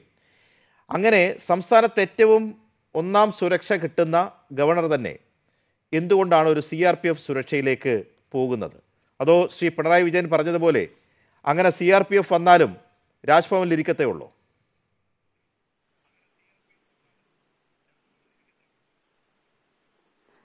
ശ്രീ സുരേഷ് സി ഗവർണർ പ്രതീക്ഷിക്കുന്ന തരത്തിലൊരു സംരക്ഷണം അദ്ദേഹത്തിന് കിട്ടുന്നില്ല എന്നൊരു കേന്ദ്ര സർക്കാരിന്റെ തീരുമാനത്തിന്റെ അടിസ്ഥാനത്തിലായിരിക്കാം അദ്ദേഹത്തിനിപ്പോൾ സി ആർ പി എഫിന്റെ പ്രൊട്ടക്ഷൻ ഉത്തരവായിരിക്കുന്നത്. ഗവർണർ നിരന്തരമായിട്ട് തെരുവിൽ ഇത്തരത്തിലുള്ള പ്രതിഷേധങ്ങൾക്കും ചിലപ്പോഴൊക്കെ അക്രമങ്ങൾക്കും വിധേയനായി വരുന്നൊരു സാഹചര്യമാണ്. ഇന്ന് അദ്ദേഹം വാഹനത്തിൽ നിന്നിറങ്ങി ഇത്തരത്തിൽ പ്രതിഷേധിക്കണമായിരുന്നു എന്ന് ചോദിച്ചു കഴിഞ്ഞാൽ അത് വളരെ ഇമോഷണൽ ആയിട്ടുള്ള ഒരു റിയാക്ഷൻ ആയിരുന്നു എന്ന് തോന്നും. കാരണം അദ്ദേഹത്തിന്റെ വാഹനത്തിൽ അടിച്ചതായി പറയുന്നു അദ്ദേഹം. പക്ഷേ അതിനെക്കുറിച്ചൊന്നും ഒരു തെളിവുകളോ മറ്റു കാര്യങ്ങളോ ഒന്നും നമുക്ക് കേൾക്കുവാനും മനസ്സിലാക്കുവാനും കഴിഞ്ഞില്ല. ഇന്ന് അദ്ദേഹം കുറച്ചൊരു ഇമോഷണലായി പോയി. പക്ഷേ ഇതിനു മുമ്പ് അദ്ദേഹത്തിന്റെ വാഹനത്തിൽ ഇടിച്ച സംഭവം ഉണ്ടായിട്ടുണ്ട്.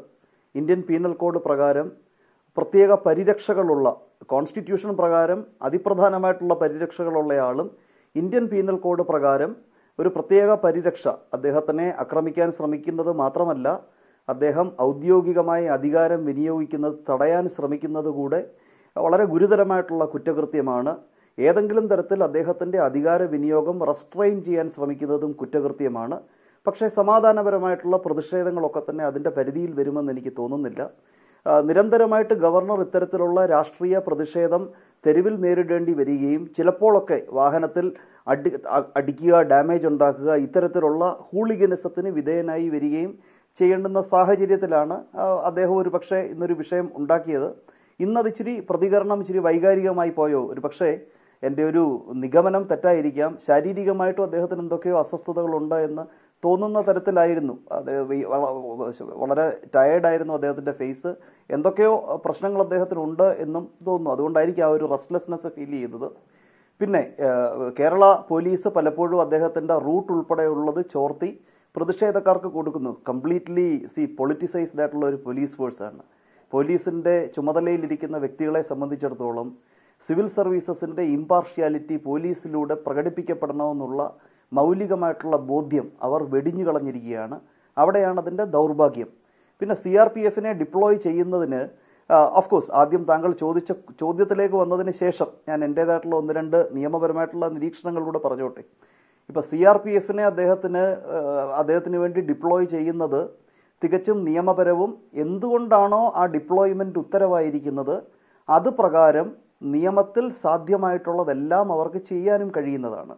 ഒരു- സംശയം ചോദിച്ചോട്ടെ? നിയമപരമായ സംശയമാണ്. കേസെടുക്കാമോ ഇപ്പോ ഇവിടെ എന്തെങ്കിലും ഒരു ക്രമസമാധാന പ്രശ്നമുണ്ട്. തന്റെ സുരക്ഷയ്ക്ക് ഒരു അപകടമുണ്ടെന്ന് ഗവർണർ റിപ്പോർട്ട് കൊടുത്തതായി പറയുന്നില്ല. താൻ സി ആർ പി എഫ് സുരക്ഷ വേണമെന്ന് ആവശ്യപ്പെട്ടിട്ടില്ല എന്ന് ഗവർണർ തന്നെ പറയുന്നുണ്ട്.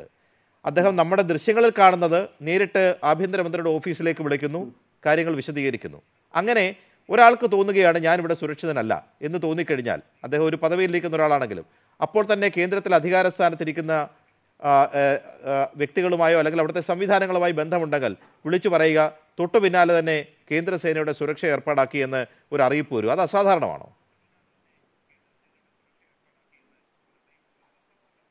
അല്ല അസാധാരണമല്ല ശ്രീ സുരേഷ്. കാരണം ഇതിനു മുമ്പ് എഫ് ഐ ആർ രജിസ്റ്റർ ചെയ്തിട്ടുണ്ട് ഇത് സംബന്ധിച്ച് എന്ന് മാത്രമല്ല നിരന്തരമായി ഇന്റലിജൻസ് ബ്യൂറോയുടെയൊക്കെ റിപ്പോർട്ട്സ് ഒരുപക്ഷെ കേന്ദ്ര സർക്കാരിന് അവൈലബിൾ ആയിരിക്കും. അപ്പോൾ അങ്ങനെ അത് പ്രൊട്ടക്ഷൻ ഉത്തരവാക്കിയതിൽ അതിനകത്ത് അസ്വാഭാവികത കാണുന്നില്ല. പക്ഷേ അതിനകത്ത് എന്റെ ചില രാഷ്ട്രീയ നിരീക്ഷണങ്ങളുണ്ട് ഞാൻ അതിലേക്ക് വരാം. അതിനു മുമ്പ് അങ്ങ് ചോദിച്ച മുഖ്യമന്ത്രിയുടെ അഭിപ്രായത്തെ സംബന്ധിച്ചൊന്ന് പറഞ്ഞുകൊള്ളട്ടെ. അപ്പോൾ ശരി ശരിയാണ്. ഇന്ത്യൻ ഭരണഘടന പ്രകാരം പോലീസ് എന്ന് പറയുന്നത് സ്റ്റേറ്റ് ലിസ്റ്റിൽപ്പെട്ട വിഷയമാണ് എന്നതുകൊണ്ട് തന്നെ സി ആർ പി എഫിന് ഇവിടെ കേസുകൾ എടുക്കുവാൻ കഴിയില്ല. ഇവിടെ നിയമപരമായിട്ടൊരു പ്രശ്നം വന്നു കഴിഞ്ഞാൽ സ്റ്റേറ്റ് പോലീസിന് മാത്രമേ കഴിയുകയുള്ളൂ. പക്ഷേ സി ആർ പി എഫ് എന്ന് പറയുന്നത് ഒരു കേന്ദ്ര നിയമപ്രകാരം ആയിരത്തി തൊള്ളായിരത്തി നാൽപ്പത്തി ഒമ്പതിലെ നിയമപ്രകാരം നിയമവിധേയമാക്കപ്പെട്ട രൂപീകൃതമായിട്ടുള്ള ഒരു ഫോഴ്സാണ് എന്നതുകൊണ്ട് തന്നെ അവർക്ക് അവരുടേതായ പ്രത്യേക അധികാരമുണ്ട് എന്നുള്ളത് നമുക്ക് മറക്കുവാൻ കഴിയില്ല. ഇപ്പോൾ സി ആർ പി എഫിനെ സംബന്ധിച്ചിടത്തോളം ആയിരത്തി തൊള്ളായിരത്തി എഴുപത്തി ആറിൽ ഒരു മിനിസ്ട്രി ഓഫ് ഹോം അഫയേഴ്സിന്റെ നോട്ടിഫിക്കേഷൻ പ്രകാരം സി ആർ പി സി പ്രകാരമുള്ള പ്രത്യേക അധികാരങ്ങൾ അവർക്ക് കൊടുത്തിട്ടുണ്ട്. കേസെടുക്കാമോ എന്ന് ചോദിച്ചു കഴിഞ്ഞാൽ എഫ് ഐ ആർ അവർക്ക് എടുക്കാൻ കഴിയില്ല എങ്കിൽ തന്നെയും section one fifty one C R P C പ്രകാരം ഒരു കോഗ്നൈസബിൾ ഒഫൻസ് കമ്മിറ്റ് ചെയ്യുവാനുള്ള സാധ്യതകളുണ്ട് എന്ന് കണ്ടാൽ ആരെയും തട്ടി അകത്താക്കുവാനും ഇരുപത്തിനാല് മണിക്കൂർ വരെ മജിസ്ട്രേറ്റിന്റെ അനുമതിയില്ലാതെ തടങ്കലിൽ വയ്ക്കുവാനുള്ള അധികാരം അവർക്കുണ്ട്. അപ്പോൾ വ്യാപകമായിട്ടുള്ള അധികാരം ആരെയാണോ പ്രൊട്ടക്റ്റ് ചെയ്യാൻ അവർ നിയോഗിക്കപ്പെട്ടിരിക്കുന്നത് അത് സംബന്ധിച്ച് വ്യാപകമായ അധികാരമുണ്ട്. അത് സംബന്ധിച്ച് നിയമപരമായി എന്ത് നടപടി എടുത്താലും സി ആർ പി എഫ് നിയമത്തിന്റെ സെക്ഷൻ സെവന്റീൻ പ്രകാരം അവർക്ക് വ്യാപകമായിട്ടുള്ള പരിരക്ഷകളും നിയമം വിഭാവനം ചെയ്തിട്ടുണ്ട്. അതുകൊണ്ട് എന്ത് ഉദ്ദേശത്തിനാണോ അദ്ദേഹത്തിന് വേണ്ടി സി ആർ പി എഫിനെ ഡിപ്ലോയ് ചെയ്തിരിക്കുന്നത് ആ ചുമതല നിർവഹിക്കുവാൻ സി ആർ പി എഫിന് കഴിയും. പക്ഷേ മുഖ്യമന്ത്രി പറഞ്ഞതുപോലെ ക്രമസമാധാന ചുമതല പൊതു ക്രമസമാധാന ചുമതലകളിലേക്ക് കടക്കുവാനോ എഫ് ഐ ആർ ഇടുവാനോ ഒന്നും അവർക്ക് കഴിയില്ല. പക്ഷേ C R P C C provisions ഒക്കെ അവർക്ക് എഴുപത്തി ആറിലെ സുരക്ഷ എന്ന് പറയുമ്പോൾ അദ്ദേഹത്തിന്റെ സെക്യൂരിറ്റി കവർ പൂർണമായിട്ടും സി ആർ പി എഫിനായിരിക്കും സെക്യൂരിറ്റി പ്രോട്ടോകോൾ അടക്കമുള്ള ബാക്കിയുള്ള എല്ലാ സപ്പോർട്ടും ചെയ്തു കൊടുക്കേണ്ടത് ലോക്കൽ പോലീസ് ആയിരിക്കും. അത് ഏകോപനവും അക്കാര്യത്തിൽ ഉണ്ടാവേണ്ടതാണ്. ഞാൻ അഭിലാഷിലേക്ക് അടുത്ത റൗണ്ടിൽ കുറച്ചുകൂടി വിശദമായിട്ട് വരാം. ബ്രേക്കിലേക്ക്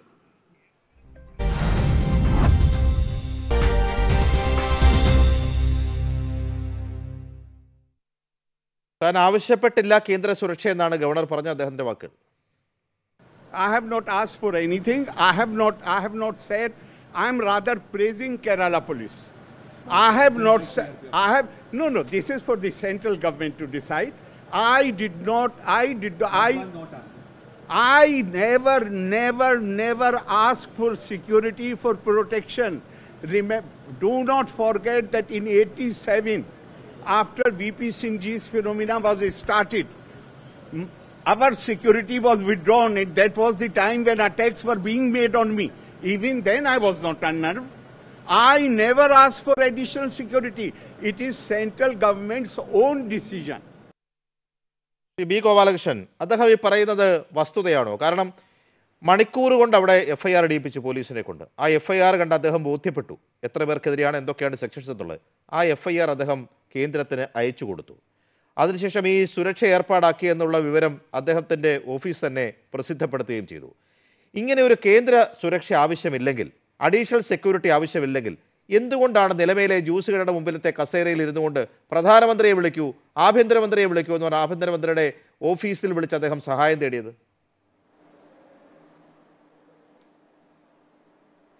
താങ്കൾ ചോദിച്ചതിന് ഉത്തരം പറയാം. അതിനു മുമ്പ് ഒന്ന് രണ്ട് ആളുകൾ പറഞ്ഞതിന് മറുപടി പറഞ്ഞിട്ട് ഞാനത് ഉത്തരം പറയാം.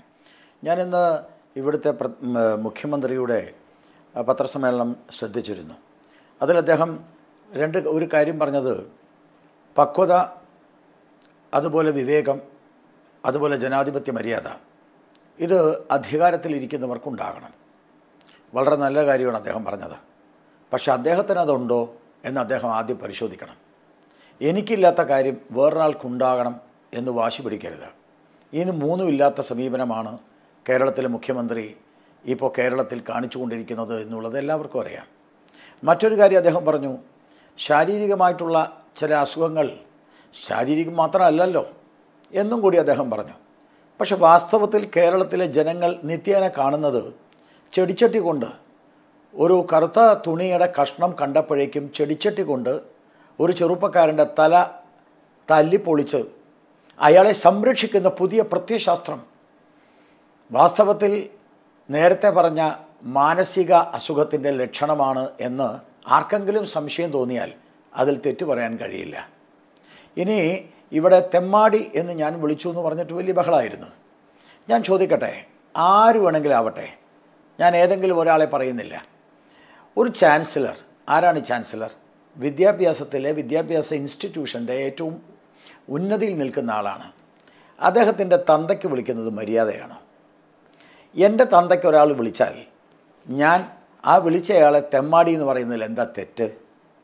ഞങ്ങൾ കായികമായി നേരിടാറുണ്ടോ? ഞങ്ങൾ നേരിടാറില്ല. ആര് പറഞ്ഞു നേരിടാറില്ല എന്ന് ജയിച്ചു കഴിഞ്ഞാൽ ഒരു കെ എസ് യുക്കാരൻ ജയിച്ചാൽ ഒരു എ ബി വി പിക്കാരൻ ജയിച്ചാൽ അവനെ തല്ലി കയ്യും കാലും ഓടിക്കുന്ന പാരമ്പര്യമല്ലേ എസ് എഫ് ഐയുടെ? നിങ്ങളുടെ മുമ്പിലിരിക്കുന്ന ഞാൻ കേരളവർമ്മ കോളേജിന്റെ ചരിത്രത്തിലാദ്യമായി വിദ്യാർത്ഥിയായി വിദ്യാർത്ഥി യൂണിയനിലെ യൂണിവേഴ്സിറ്റി യൂണിയൻ കൗൺസിലറായി ജയിച്ചതാ. ഞാൻ ആ എന്റെ അനുഭവം ഞാൻ പറയുന്നത്. ഒരു തെറ്റ് ഞാൻ ചെയ്തിട്ടില്ല. ഒരു എസ് എഫ് ഐക്കാരനെ ഞാൻ ആക്രമിച്ചിട്ടില്ല. എന്റെ കയ്യും കാലും തല്ലി ഓടിച്ച് നിന്നുകൊണ്ട് എസ് എഫ് ഐക്കാരനെ പരാജയപ്പെടുത്തി ഞാൻ ജയിച്ചു. ജീവിച്ചിരിക്കുന്ന പ്രിൻസിപ്പൾക്ക് ശവകൂടീരമുണ്ടാക്കിയ പാരമ്പര്യമാർക്ക എസ് എഫ് ഐയുടെയാണ് പ്രിൻസിപ്പളുടെ കസേര കത്തിച്ചതിന്റെ പാരമ്പര്യമാർക്ക എസ് എഫ് ഐക്കാർക്കാ. ഒരു കുട്ടി സ്വന്തം ഞാൻ ചോദ്യത്തിൽ ഒറ്റ ഒരു സെക്കൻഡ് കൂടി കഴിഞ്ഞ് ഞാൻ വരാം. കൂടെ പഠിക്കുന്നവന്റെ പുറത്ത് എസ് എഫ് ഐ എന്ന് വാളുകൊണ്ട് വരച്ചു വെച്ച പാരമ്പര്യം ആർക്കാ? അത് എസ് എഫ് ഐക്കാ. ഇങ്ങനെയുള്ളവരെ വിളിക്കേണ്ടത് ഈ പദം തന്നെയാണ്. പിന്നീട് മറ്റൊരവസ്ഥയാണെന്ന് കാലം തെളിയിച്ചതാണ്. അതുപോട്ടെ എന്റെ ചോദ്യം അദ്ദേഹത്തിന് സുരക്ഷ ആവശ്യമില്ല. അഡീഷണൽ സുരക്ഷ ആവശ്യമില്ല എന്ന് പറഞ്ഞു. പിന്നെ എന്തിനാണ് അദ്ദേഹം പ്രധാനമന്ത്രിയെ വിളിക്കൂ? ആഭ്യന്തരമന്ത്രിയെ വിളിക്കൂ എന്ന് പറഞ്ഞത് എഫ്ഐആർ അയച്ചു കൊടുത്തു. ഞാൻ താങ്കൾ അതെ. അതെ. അതെ അതെ. ഈ നിങ്ങളൊരു കാര്യം മനസ്സിലാക്കണം. ഈ നമ്മുടെ ഇന്ത്യയിൽ മൂന്നാമത്തെ ഏറ്റവും ഉന്നതമായ സുരക്ഷയുള്ളത് ഗവർണർക്കാണ്. പ്രസിഡന്റും പ്രധാനമന്ത്രിയും കഴിഞ്ഞാൽ അടുത്തത് ഗവർണർക്കാണ് ആ ഗവർണറെയാണ് ആ ഗവർണറുടെ കാറാണ് തല്ലിപ്പൊളിക്കാൻ വരുന്നത്. ആ ഗവർണറെയാണ് വഴുനീളെ ഈ കരിങ്കൊടി ഉയർത്തിക്കൊണ്ട് ഉപദ്രവിക്കാൻ വേണ്ടിയുള്ള ശ്രമം നടത്തുന്നത്. ആ ഗവർണറെയാണ് പോലീസുമായി സഖ്യം ചേർന്ന് പോലീസിന്റെ അകമ്പടിയോടെ പോലീസിന്റെ എല്ലാ അനുവാദത്തോടെയും ഈ രീതിയിൽ നിന്നുകൊണ്ട് അദ്ദേഹത്തെ തന്തയ്ക്ക് വിളിക്കലും അദ്ദേഹത്തെ എതിർക്കാൻ വേണ്ടിയുള്ള ശ്രമം നടത്തലും ചെയ്യുന്നത്. സ്വാഭാവികമായും ഗവർണറെ ഇങ്ങോട്ട് വിട്ട ആളുകളെ അത് അറിയിക്കേണ്ട ചുമതല ഗവർണർക്കുണ്ട്. ഞാൻ നേരത്തെ നിങ്ങളോടൊരു വാക്ക് പറഞ്ഞു. ഒരു വെളിപ്പാടകലെ ഒരു വെളിപ്പാടകലെ. കേന്ദ്ര ഗവൺമെന്റ് ഉണ്ട് ഒരു വെളിപ്പാടകലെ. അല്ല അതൊക്കെ ഇരുന്നോട്ടെ. ഞാൻ ചോദിച്ചതല്ല. എന്റെ നല്ല പ്രായത്തിൽ എന്റെ നല്ല പ്രായത്തിൽ എന്റെ ജീവനിൽ എനിക്ക് പേടിയില്ലായിരുന്നു. പിന്നാണോ ഈ വയസ്സാം കാലത്ത്? അതുകൊണ്ട് ഞാൻ ആരുടെ മുമ്പിലും തലകുനിക്കില്ല. ആക്രമിക്കാൻ വന്നാൽ ഞാൻ നെഞ്ചും പിരിച്ചവരെ അടുക്കൽ പോയി നേരിടുമെന്ന് പറഞ്ഞ ഗവർണർ ഈ കേന്ദ്ര സേന അദ്ദേഹത്തിന്റെ സുരക്ഷയിലേക്ക് ഇസഡ് പ്ലസ് വന്നത് അദ്ദേഹത്തിന്റെ ഈ വിവരം അദ്ദേഹം എഫ് ഐ ആർ ഇടിയിപ്പിച്ച് എഫ് ഐ ആർ ആഭ്യന്തര മന്ത്രാലയത്തെ അറിയിച്ചതുകൊണ്ടാണ് അദ്ദേഹം പ്രധാന പി എം ഒയുടെ ഓഫീസ് പി എം ഒയിൽ നിന്ന് അദ്ദേഹത്തെ വിളിച്ചിരുന്നു. അപ്പോൾ അദ്ദേഹത്തിന്റെ കറസ്പോണ്ടൻസ് കൊണ്ടാണ് ഇത് ഉണ്ടായത്. അതിനുശേഷം ഞാൻ ആവശ്യപ്പെട്ടിട്ടല്ല വന്നതെന്ന് പറയുന്നതിലെ ഒരു ഇരട്ടത്താപ്പാണ് ഞാൻ പറഞ്ഞത്. അവിടെയാണ് പറഞ്ഞത് എല്ലാവരും ഇങ്ങനെയാണ് ഞാൻ ഇരട്ടച്ചങ്കനാണ് ഞാൻ അങ്ങനെ ചെയ്തിട്ടുണ്ട് ഇങ്ങനെ ചെയ്തിട്ടുണ്ടെന്നൊക്കെ പറയും. കാര്യം നടന്നു കഴിയുമ്പോൾ അത് ഞാൻ ആവശ്യപ്പെട്ടില്ല ഞാൻ അറിഞ്ഞിട്ടില്ലെന്ന് പറയും. ആ കാറ്റഗറിയിലേക്ക് അദ്ദേഹവും സ്വയം മാറുകയല്ലേ? അത് സുരേഷിന് പറയുന്നതിന്റെ എന്താ പറയുക ഞാൻ പറയാൻ പാടില്ലെങ്കിലും പറയാം അത് സുരേഷിന്റെ വിവരക്കേടാ. ഇവിടെ ഒരു ചെറിയ സംഭവം നടന്നാൽ അതായത് ഗവർണർ അദ്ദേഹത്തിന്റെ രാജ്ഭവനിൽ നിന്ന് വെളിയിലിറങ്ങിയാൽ അത് അന്വേഷിക്കാൻ കേന്ദ്ര സേനയുണ്ട് ഹോം ഡിപ്പാർട്ട്മെന്റ് ഉണ്ട്. അല്ല ശ്രീ കൃത്യമായി നേരത്തെ അഭിലാഷ് പറഞ്ഞു പറയട്ടെ. ഒരു മൊബൈൽ വാങ്ങിച്ച് വിളിയടാ പ്രധാനമന്ത്രിയുടെ ഓഫീസിലേക്ക്. പറയട്ടെ. വിളിക്കട ആഭ്യന്തരമന്ത്രിയുടെ. മറ്റേ സിനിമയിൽ പറയട്ടെ. പറയത്തില്ല? ഞാൻ തിരുവനന്തപുരത്തേക്ക് വിളിക്കുമെന്ന്. അങ്ങനെ വിളിച്ചാണോ? കേരളത്തിൽ ഉണ്ടാകുന്ന ക്രമസമാധാന. പ്രശ്നങ്ങളെ കുറിച്ച് കേന്ദ്രത്തെ ധരിപ്പിക്കേണ്ടത് അങ്ങനെയാണെന്നോ ഉണ്ടെങ്കിൽ ഞാൻ എന്റെ വിവരക്കേട് സമ്മതിക്കുകയാണ്. അല്ല സുരേഷേ ഞാൻ വിവരക്കെടുത്ത് പറഞ്ഞത് പറഞ്ഞല്ലോ അങ്ങനെ പറയാൻ പാടില്ല എങ്കിലും ഞാൻ പറയുകയാണെന്ന്. സുരേഷ് ഷടനോട് ഷാഠ്യം ഷടനോട് ഷാഠ്യമാണ് ചിലർക്കുള്ളത്. ഈ ഇവിടുത്തെ ഗവൺമെന്റ് കാണിക്കുന്ന തോന്നിവാസത്തോട് അങ്ങനെ തന്നെ പ്രതികരിക്കണം. അങ്ങനെ പ്രതികരിക്കുന്ന ആളാണ് അതൊരു. മറുപടിയാണ്. അദ്ദേഹം ഇതൊക്കെ കണ്ടും കേട്ടും വന്നതാ.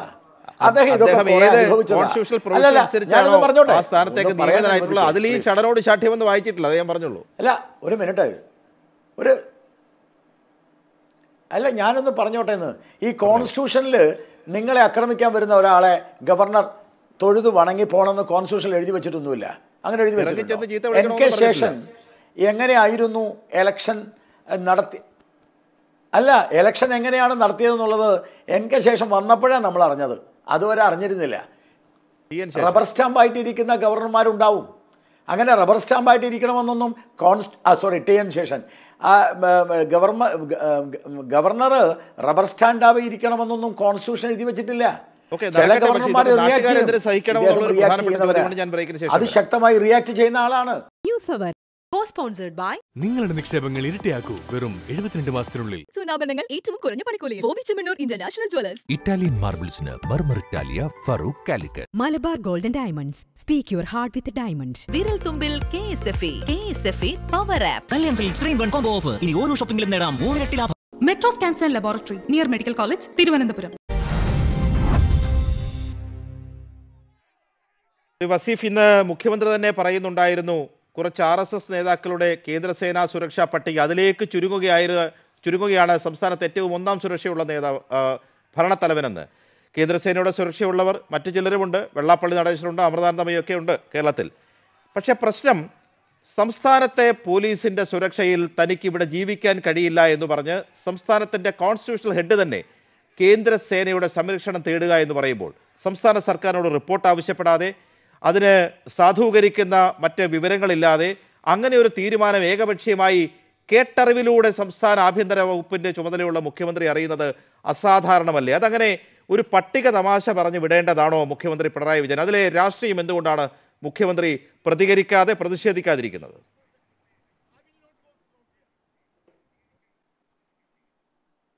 മുഖ്യമന്ത്രിയും കേരളത്തിലെ മന്ത്രിസഭയും അതുപോലെ തന്നെ ഭരണകക്ഷികളും ഒക്കെ നിരന്തരമായി ഈ ഗവർണറെ കുറിച്ച് പറഞ്ഞുകൊണ്ടിരിക്കുന്നുണ്ട്. അതിൽ വേറെ തർക്കമൊന്നുമില്ല. ഈ ഗവർണർ പ്രവർത്തിക്കുന്നത് വേറെ പലരുടെയും ഉപദേശത്തിന്റെ അടിസ്ഥാനത്തിലാണ് എന്നൊക്കെ നമുക്ക് ഏവർക്കും അറിയാം. ഇപ്പോൾ ഇവിടെ തന്നെ ബി ജെ പി പ്രതിനിധി പറയുന്നത് വിളിക്കപ്പുറത്ത് മറ്റൊരു ഗവൺമെന്റ് ഉണ്ട് എന്നുള്ളതാണ് വിളിക്കാതെ തന്നെ ആളുകൾ വന്നു എന്നുള്ളതാണ് ഇപ്പോൾ സുരേഷ് പറയുന്നത്. കാരണം സുരേഷ് അല്ല ഗവർണർ തന്നെ പറഞ്ഞു ഞാൻ ആവശ്യപ്പെട്ടിട്ടില്ല എന്ന്. അപ്പോൾ ഇവിടെ തക്കം പാർത്തിരിക്കുന്ന ആർ എസ് എസ് ഉണ്ട്.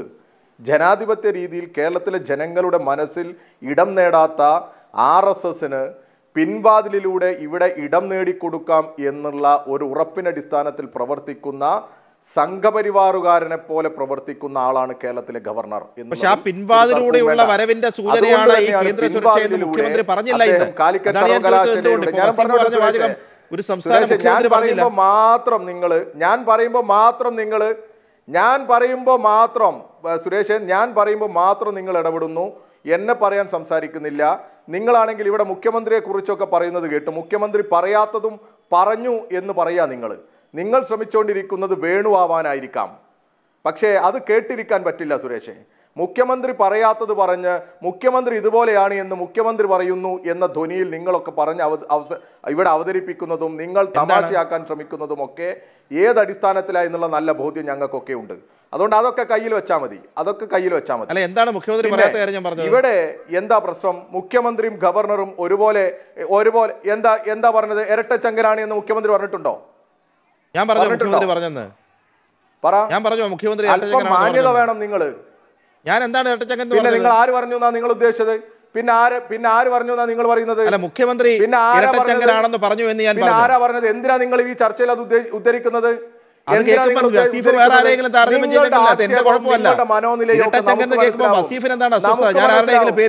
നിങ്ങൾ നിങ്ങൾ? നിങ്ങളുടെ അസ്വസ്ഥത തന്നെയാ. നിങ്ങളുടെ അസ്വസ്ഥതയും നിങ്ങളുടെ വേണു നിങ്ങളുടെ വേണു നിങ്ങളുടെ വേണു കേരളത്തിലെ ഗവൺമെന്റിനെ കുറിച്ച് പറയുന്നതും മുഖ്യമന്ത്രിയെ കുറിച്ച് പറയുന്നതും ഇവിടെ സമരം നടത്തിയവരെ പ്രതി സമരം നടത്തിയവരോട് എങ്ങനെ പ്രതികരിക്കണം എന്ന് പറഞ്ഞതും ഒക്കെ ഈ കേരളം കേട്ടതാ. നിങ്ങളുടെ യഥാർത്ഥ പ്രശ്നം എന്താണെന്ന് എനിക്ക് ഇപ്പോഴും മനസ്സിലായിട്ടില്ല.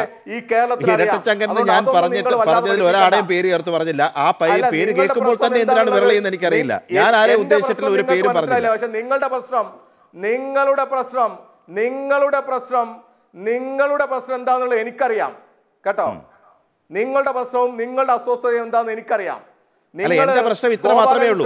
അതുപോലെ തന്നെ സംസ്ഥാന സർക്കാരിനോട് റിപ്പോർട്ട് പോലും തേടാതെ ഒറ്റ നിമിഷം കൊണ്ട് ഒരു ഗവർണർക്ക് കേന്ദ്ര സേനയുടെ പ്ലസ് കാറ്റഗറി സുരക്ഷ ഏർപ്പാടാക്കി കൊടുക്കുമ്പോൾ ഇത് സംസ്ഥാനത്തെ ഒരു ഫെഡറൽ സിസ്റ്റത്തെ തകർക്കുന്നതാണ് എന്നുള്ള രാഷ്ട്രീയം നിങ്ങൾ പറഞ്ഞതുപോലെ ഈ. സംസ്ഥാനത്തെ തെരഞ്ഞെടുക്കപ്പെട്ട മുഖ്യമന്ത്രി പറഞ്ഞില്ല. അത്രയല്ലേ ഞാൻ. പറഞ്ഞുള്ളൂ?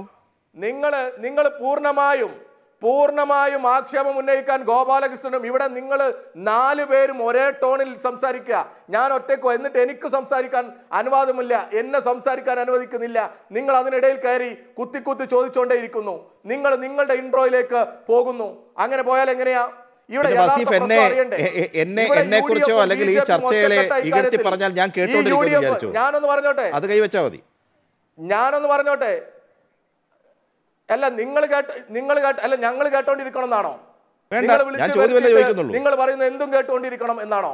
യഥാർത്ഥത്തിൽ ഇവിടെ ഈ സെനറ്റിലേക്ക് നോമിനേറ്റ് ചെയ്തതിൽ ഈ സെനറ്റിലേക്ക് നോമിനേറ്റ് ചെയ്യപ്പെട്ടതിൽ ആർ എസ് എസുകാരോടൊപ്പം യു ഡി എഫുകാരുണ്ട് കോൺഗ്രസ് ഉണ്ട് കാലിക്കറ്റ് സർവകലാശാലയിൽ ഒൻപത് ബി ജെ പിക്കാരും നാല് കോൺഗ്രസുകാരും മൂന്ന് മുസ്ലിം ലീഗുകാരും ഉണ്ട് അവരെങ്ങനെയാണ് ഈ ലിസ്റ്റിൽ കയറി പറ്റിയത് ആരാണ് ആ പേര് കൊടുത്തത്? അത് പറയണ്ടേ? ഈ വിഷയമാണല്ലോ ചർച്ച ചെയ്യേണ്ടത്. ആരാണ് സർവകലാശാല കൊടുത്ത ലിസ്റ്റിൽ നിന്ന് ആളുകളെ ആളുകൾ എടുക്കാതെ മറ്റ് ലിസ്റ്റ് മറ്റ് പേരുകൾ വന്നത് മറ്റ് പേരുകൾ വന്നത് എങ്ങനെയാ? മറ്റ് പേരുകൾ എങ്ങനെയാ വന്നത്? എസ് എഫ് ഐക്കാർ വേണമെന്നാണോ? ഇദ്ദേഹം സർവകലാശാലയുടെ ലിസ്റ്റ് വാങ്ങി സർവകലാശാല ഈ പറയുന്ന എല്ലാ പ്രൊസീജിയറും പാലിച്ചു കൊണ്ട് കൊടുത്ത ലിസ്റ്റ്. ആ ലിസ്റ്റിൽ നിന്ന് ആരെങ്കിലും എടുക്കണ്ടേ? ആ ലിസ്റ്റിൽ നിന്ന് എടുക്കുന്നതിന് പകരം ആ ലിസ്റ്റിൽ നിന്നെടുക്കുന്നതിന് പകരം കോൺഗ്രസിന്റെ സംഘടനാ നേതാക്കന്മാരും അതോടൊപ്പം എ ബി വി പിയുടെ യൂണിറ്റ് പ്രസിഡന്റുമാരും ഈ പറയുന്ന സംഘപരിവാരത്തിന്റെ അധ്യാപക സംഘടനാ നേതാക്കന്മാരും എങ്ങനെ വന്നു? ഒമ്പത് ഇസ്റ്റു നാല് ഇസ്റ്റു മൂന്ന് എന്ന പ്രപ്പോഷൻ ആരുണ്ടാക്കി? ആരാണ് ഈ പ്രപ്പോസൽ ഉണ്ടാക്കിയത്? ആരാ ഇതിന്റെ ഇടനിലക്കാരൻ? ഇവിടെ ഗവർണറെ വെച്ച് രാഷ്ട്രീയം കളിച്ച് കേരളത്തിനകത്ത് സംഘപരിവാരത്തിന് ഇടം കൊടുക്കാൻ ഇവിടെ ബോധപൂർവം പരിശ്രമിക്കുന്നത് ആരാണ്? അതാ പരിശോധിക്കേണ്ടത്. ഞാൻ ഒറ്റ മിനിറ്റ് മാത്രമേ അഭിലാഷിലേക്ക് ശ്രീ അഭിലാഷ് പശ്ചിമ ബംഗാളിന്റെ മോഡൽ ഒരു വലിയ രാഷ്ട്രീയ വിഷയമായി കൂടി ഇത് മാറുകയാണ്. പറഞ്ഞു? അല്ല നിങ്ങൾ ഈ സമരത്തെ നേരിട്ടതെ കുറിച്ച് പറഞ്ഞു? ഗോപാലകൃഷ്ണൻ പറഞ്ഞു B J P B J P രാജ്യത്തുടനീളം സമരക്കാരെ നേരിടുന്നത് എങ്ങനെയാണ് ഈ കേരളത്തിൽ ദേവി. ഏതൊന്ന് വഴങ്ങുക? നമുക്ക് ഒരു മിനിറ്റ് കൂടെ ഉള്ളൂ. അഭിലാഷിലേക്ക് ഒരു റൗണ്ടേ പോയുള്ളൂ. എനിക്ക് ഒരു ഒരു മിനിറ്റ് അഭിലാഷെ കൂടി കേൾക്കണം പ്ലീസ്. കള്ളം പറയാ നിങ്ങളുടെ ചർച്ചയിൽ ഇരുന്നുണ്ട് സമയം കിട്ടിയിട്ടില്ല രണ്ടാമത്. സുരേഷ് ഓക്കെ വിമർശനങ്ങൾക്ക് വസീഫ് മറുപടി പറഞ്ഞല്ലോ അഭിലാഷ്. പ്ലീസ് എനിക്ക് സമയം കിട്ടിയിട്ടില്ല. സുരേഷ് പറഞ്ഞോട്ടെ. എനിക്ക് സമയം കിട്ടിയിട്ടില്ല. ഒന്ന് നിർത്തപ്പാ. അഭിലാഷ് പറഞ്ഞോളൂ. ഓ ഇതിപ്പോ എന്നെ തടയാൻ വേണ്ടിയിട്ടാണ് ഈ നിർത്തുന്നത് അഭിലാഷ് പറഞ്ഞോളൂ പറഞ്ഞോളൂ. ഇതിങ്ങനെ ശ്രീ സുരേഷ് അദ്ദേഹത്തിനെ ഒന്ന് മ്യൂട്ട് ചെയ്യുന്നേ. താങ്കൾ ചോദ്യം ചോദിച്ചിട്ട് അത് അനുമതി മറുപടി പറയാൻ അനുവദിക്കത്തില്ലെങ്കിൽ this is very bad Shri Shri Shri Shri Suresh Shri Shri Suresh ഈ ഇപ്പൊ കേന്ദ്ര കേന്ദ്ര എന്റെ പൊന്നെ ഒന്ന് നിർത്ത്. ഇതെന്തോ ഇത്? എന്നോടല്ലേ ചോദ്യം ചോദിക്കുന്നത്? വസീഫ് അവസാനത്തെ മിനിറ്റാണ്. ദയവ് ചെയ്ത് ദയവ് ചെയ്ത് ചർച്ച അലോസരപ്പെടുത്തരുത്. ശ്രീ സുരേഷ് എനിക്ക് താങ്കൾ പറയാനുള്ള വിമർശങ്ങൾ കേട്ടു. അതിനപ്പുറത്തേക്ക് താങ്കൾ സംസാരിച്ചു. അഭിലാഷുള്ള സമയമാണ് പ്ലീസ് ശ്രീ സുരേഷ് ഇത് കേന്ദ്ര സർക്കാർ അഭിലാഷ് പറയൂ. പറഞ്ഞോട്ടെ? ഇതെന്താ ഇത് കാണിക്കുന്നത്? അങ്ങനെ മ്യൂട്ട് ചെയ്യുന്നേ? സി കേന്ദ്ര സർക്കാരിന് ഈ വിഷയത്തിൽ ശക്തമായിട്ട് നിലപാടെടുക്കുവാൻ വലിയ താല്പര്യമില്ല. വെസ്റ്റ് ബംഗാളിലെ കൂട്ടല്ല എന്നുള്ളതാണ് എന്റെ നിഗമനം. കാരണം ഇപ്പോൾ കേന്ദ്രത്തിനെ സംബന്ധിച്ചിടത്തോളം കേരള പോലീസ് വഴി സർക്കാർ ഗവർണറുടെ സെക്യൂരിറ്റി ഉറപ്പാക്കുവാൻ ഭരണഘടനാപരമായിട്ടുള്ള പല വഴികളും ഉണ്ടായിട്ട് കൂടി ഇതൊരു തലവേദനയായിട്ടാണ് കേന്ദ്ര സർക്കാർ കരുതുന്നത് എന്നതുകൊണ്ടായിരിക്കണം C R P C R P എഫിന്റെ സെക്യൂരിറ്റി ഡിപ്ലോയ്മെന്റ് ഉത്തരവിട്ടത്. അല്ലെങ്കിൽ കോൺസ്റ്റിറ്റ്യൂഷൻ പ്രകാരം ഡയറക്ഷൻ ബൈൻഡിംഗ് ഡയറക്ഷൻ കൊടുക്കുവാൻ കഴിയുമെന്ന് മാത്രമല്ല അങ്ങനെ ബൈൻഡിംഗ് ഡയറക്ഷൻ വയലേറ്റ് ചെയ്ത് കഴിഞ്ഞാൽ തീർച്ചയായിട്ടും രാഷ്ട്രപതി ഭരണം ഉൾപ്പെടെയുള്ള നടപടിയിലേക്ക് കടക്കുവാൻ സാധ്യതയുണ്ടായിട്ടും ഇവിടെ അത് ചെയ്യുന്നില്ല എന്നുള്ളത് സൂചിപ്പിക്കുന്നത് കേന്ദ്ര സർക്കാരിനോട് കേന്ദ്ര സർക്കാരിന് വലിയൊരു പ്രതിപത്തി ഇദ്ദേഹത്തോട് ഇല്ല എന്നുള്ളതാണ് പിന്നെ കേരള ബി ജെ പിയും ഇപ്പം മുഖ്യമന്ത്രിയെ പ്രൊട്ടക്ട് ചെയ്യാൻ ഡിവൈഎഫ്ഐ ഇറങ്ങിയതുപോലെ ഇപ്പൊ കേരള ബി ജെ പിയും ഗവർണറെ പ്രൊട്ടക്ട് ചെയ്യാൻ ഇറങ്ങുന്നില്ല. അപ്പൊ അവരെ സംബന്ധിച്ചിടത്തോളം ആക്റ്റീവായിട്ട് അത്തരത്തിൽ അവർ രാഷ്ട്രീയപരമായിട്ടുള്ള ഒരു നടപടി എടുത്തിരുന്നെങ്കിൽ ഇത് അഡ്രസ്സ് ചെയ്യാൻ കഴിയുമായിരുന്നു ഒരു പരിധി വരെ അവരും ഇതിനകത്ത് ഇറങ്ങുന്നില്ല എന്നുള്ളത് കൊണ്ട് തമാശ കളി എന്ന് പറഞ്ഞ പ്രതിപക്ഷം കാഴ്ചക്കാരായി മാത്രം ഇരിക്കുമോ ഇതിൽ? അതോ ഇത് പരിധി വിട്ട രീതിയിലേക്ക് പോകുമോ? ഞങ്ങളെ സംബന്ധിച്ച് ഞങ്ങൾ കൃത്യമാണ് കാര്യങ്ങൾ. ഇതിലെ വസ്തുതകൾ ഞങ്ങൾ ബോധ്യപ്പെടുന്നു. ഒറ്റ വാചകം മാത്രമേ ഞാൻ പറഞ്ഞ് അവസാനിപ്പിക്കാം ഈ മുഖ്യമന്ത്രിയും ഗവർണറും തമ്മിലുള്ള തർക്കത്തിൽ ഇവരെ ഒത്തുകളി എന്നൊക്കെ പലപ്പോഴും ഞങ്ങൾ പറയുന്നത് എന്തുകൊണ്ടാണ്? ഈ മുഖ്യമന്ത്രിക്കെതിരായി കണ്ണൂർ സർവകലാശാലയുടെ പുനർനിയമനവുമായി ബന്ധപ്പെട്ട വിവാദം വന്നപ്പോൾ മുഖ്യമന്ത്രിക്കെതിരായി പത്രസമ്മേളനം രാജ്ഭവനിൽ നടത്തിയ ആളാണ് ഗവർണർ. ആ ഗവർണർ പത്രസമ്മേളനം നടത്തിയപ്പോൾ കൃത്യമായി ഞങ്ങൾ പറഞ്ഞു. അതനുസരിച്ചുകൊണ്ട് ഗവർണർ പറഞ്ഞത് മുഖ്യമന്ത്രി അധികാര ദുർവിനിയോഗം നടത്തിയെന്നാണ്. ഞാനാണ് വിജിലൻസ് കോടതിയിൽ പോയത്. വിജിലൻസ് കോടതിയിൽ പോയപ്പോൾ ഞാൻ ആവശ്യപ്പെട്ടു. പ്രോസിക്യൂഷൻ പെർമിഷൻ വേണം. ഞാൻ ഗവർണറോട് സമീപിച്ചു. ഗവർണർ തന്നില്ല.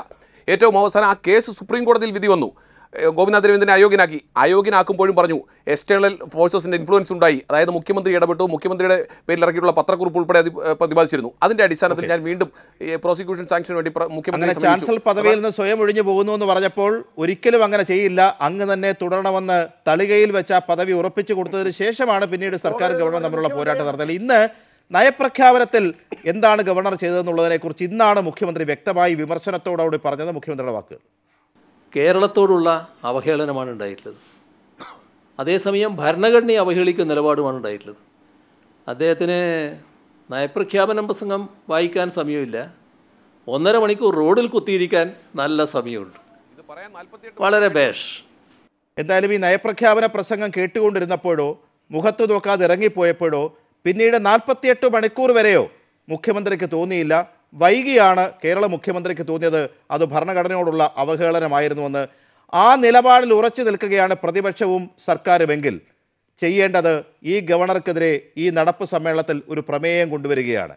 കാരണം ഭരണഘടനയെ അവഹേളിക്കുന്ന ഒരു ഗവർണർ ഈ സംസ്ഥാനത്ത് വേണ്ട എന്നൊരു പ്രമേയം പാസ്സാക്കാൻ ധൈര്യമുണ്ടെങ്കിൽ മുഖ്യമന്ത്രി പിണറായി വിജയൻ അത് ചെയ്യണം പ്രതിപക്ഷവും അത് ചെയ്യണം. അല്ലെങ്കിൽ കണ്ണിൽ പൊടിയിടാൻ വേണ്ടി നടത്തുന്ന പഞ്ച് ഡയലോഗുകൾ മാത്രമായി അത് അവശേഷിച്ചു പോകും. ന്യൂസ് അവസാനിക്കുന്നു. Nine nine.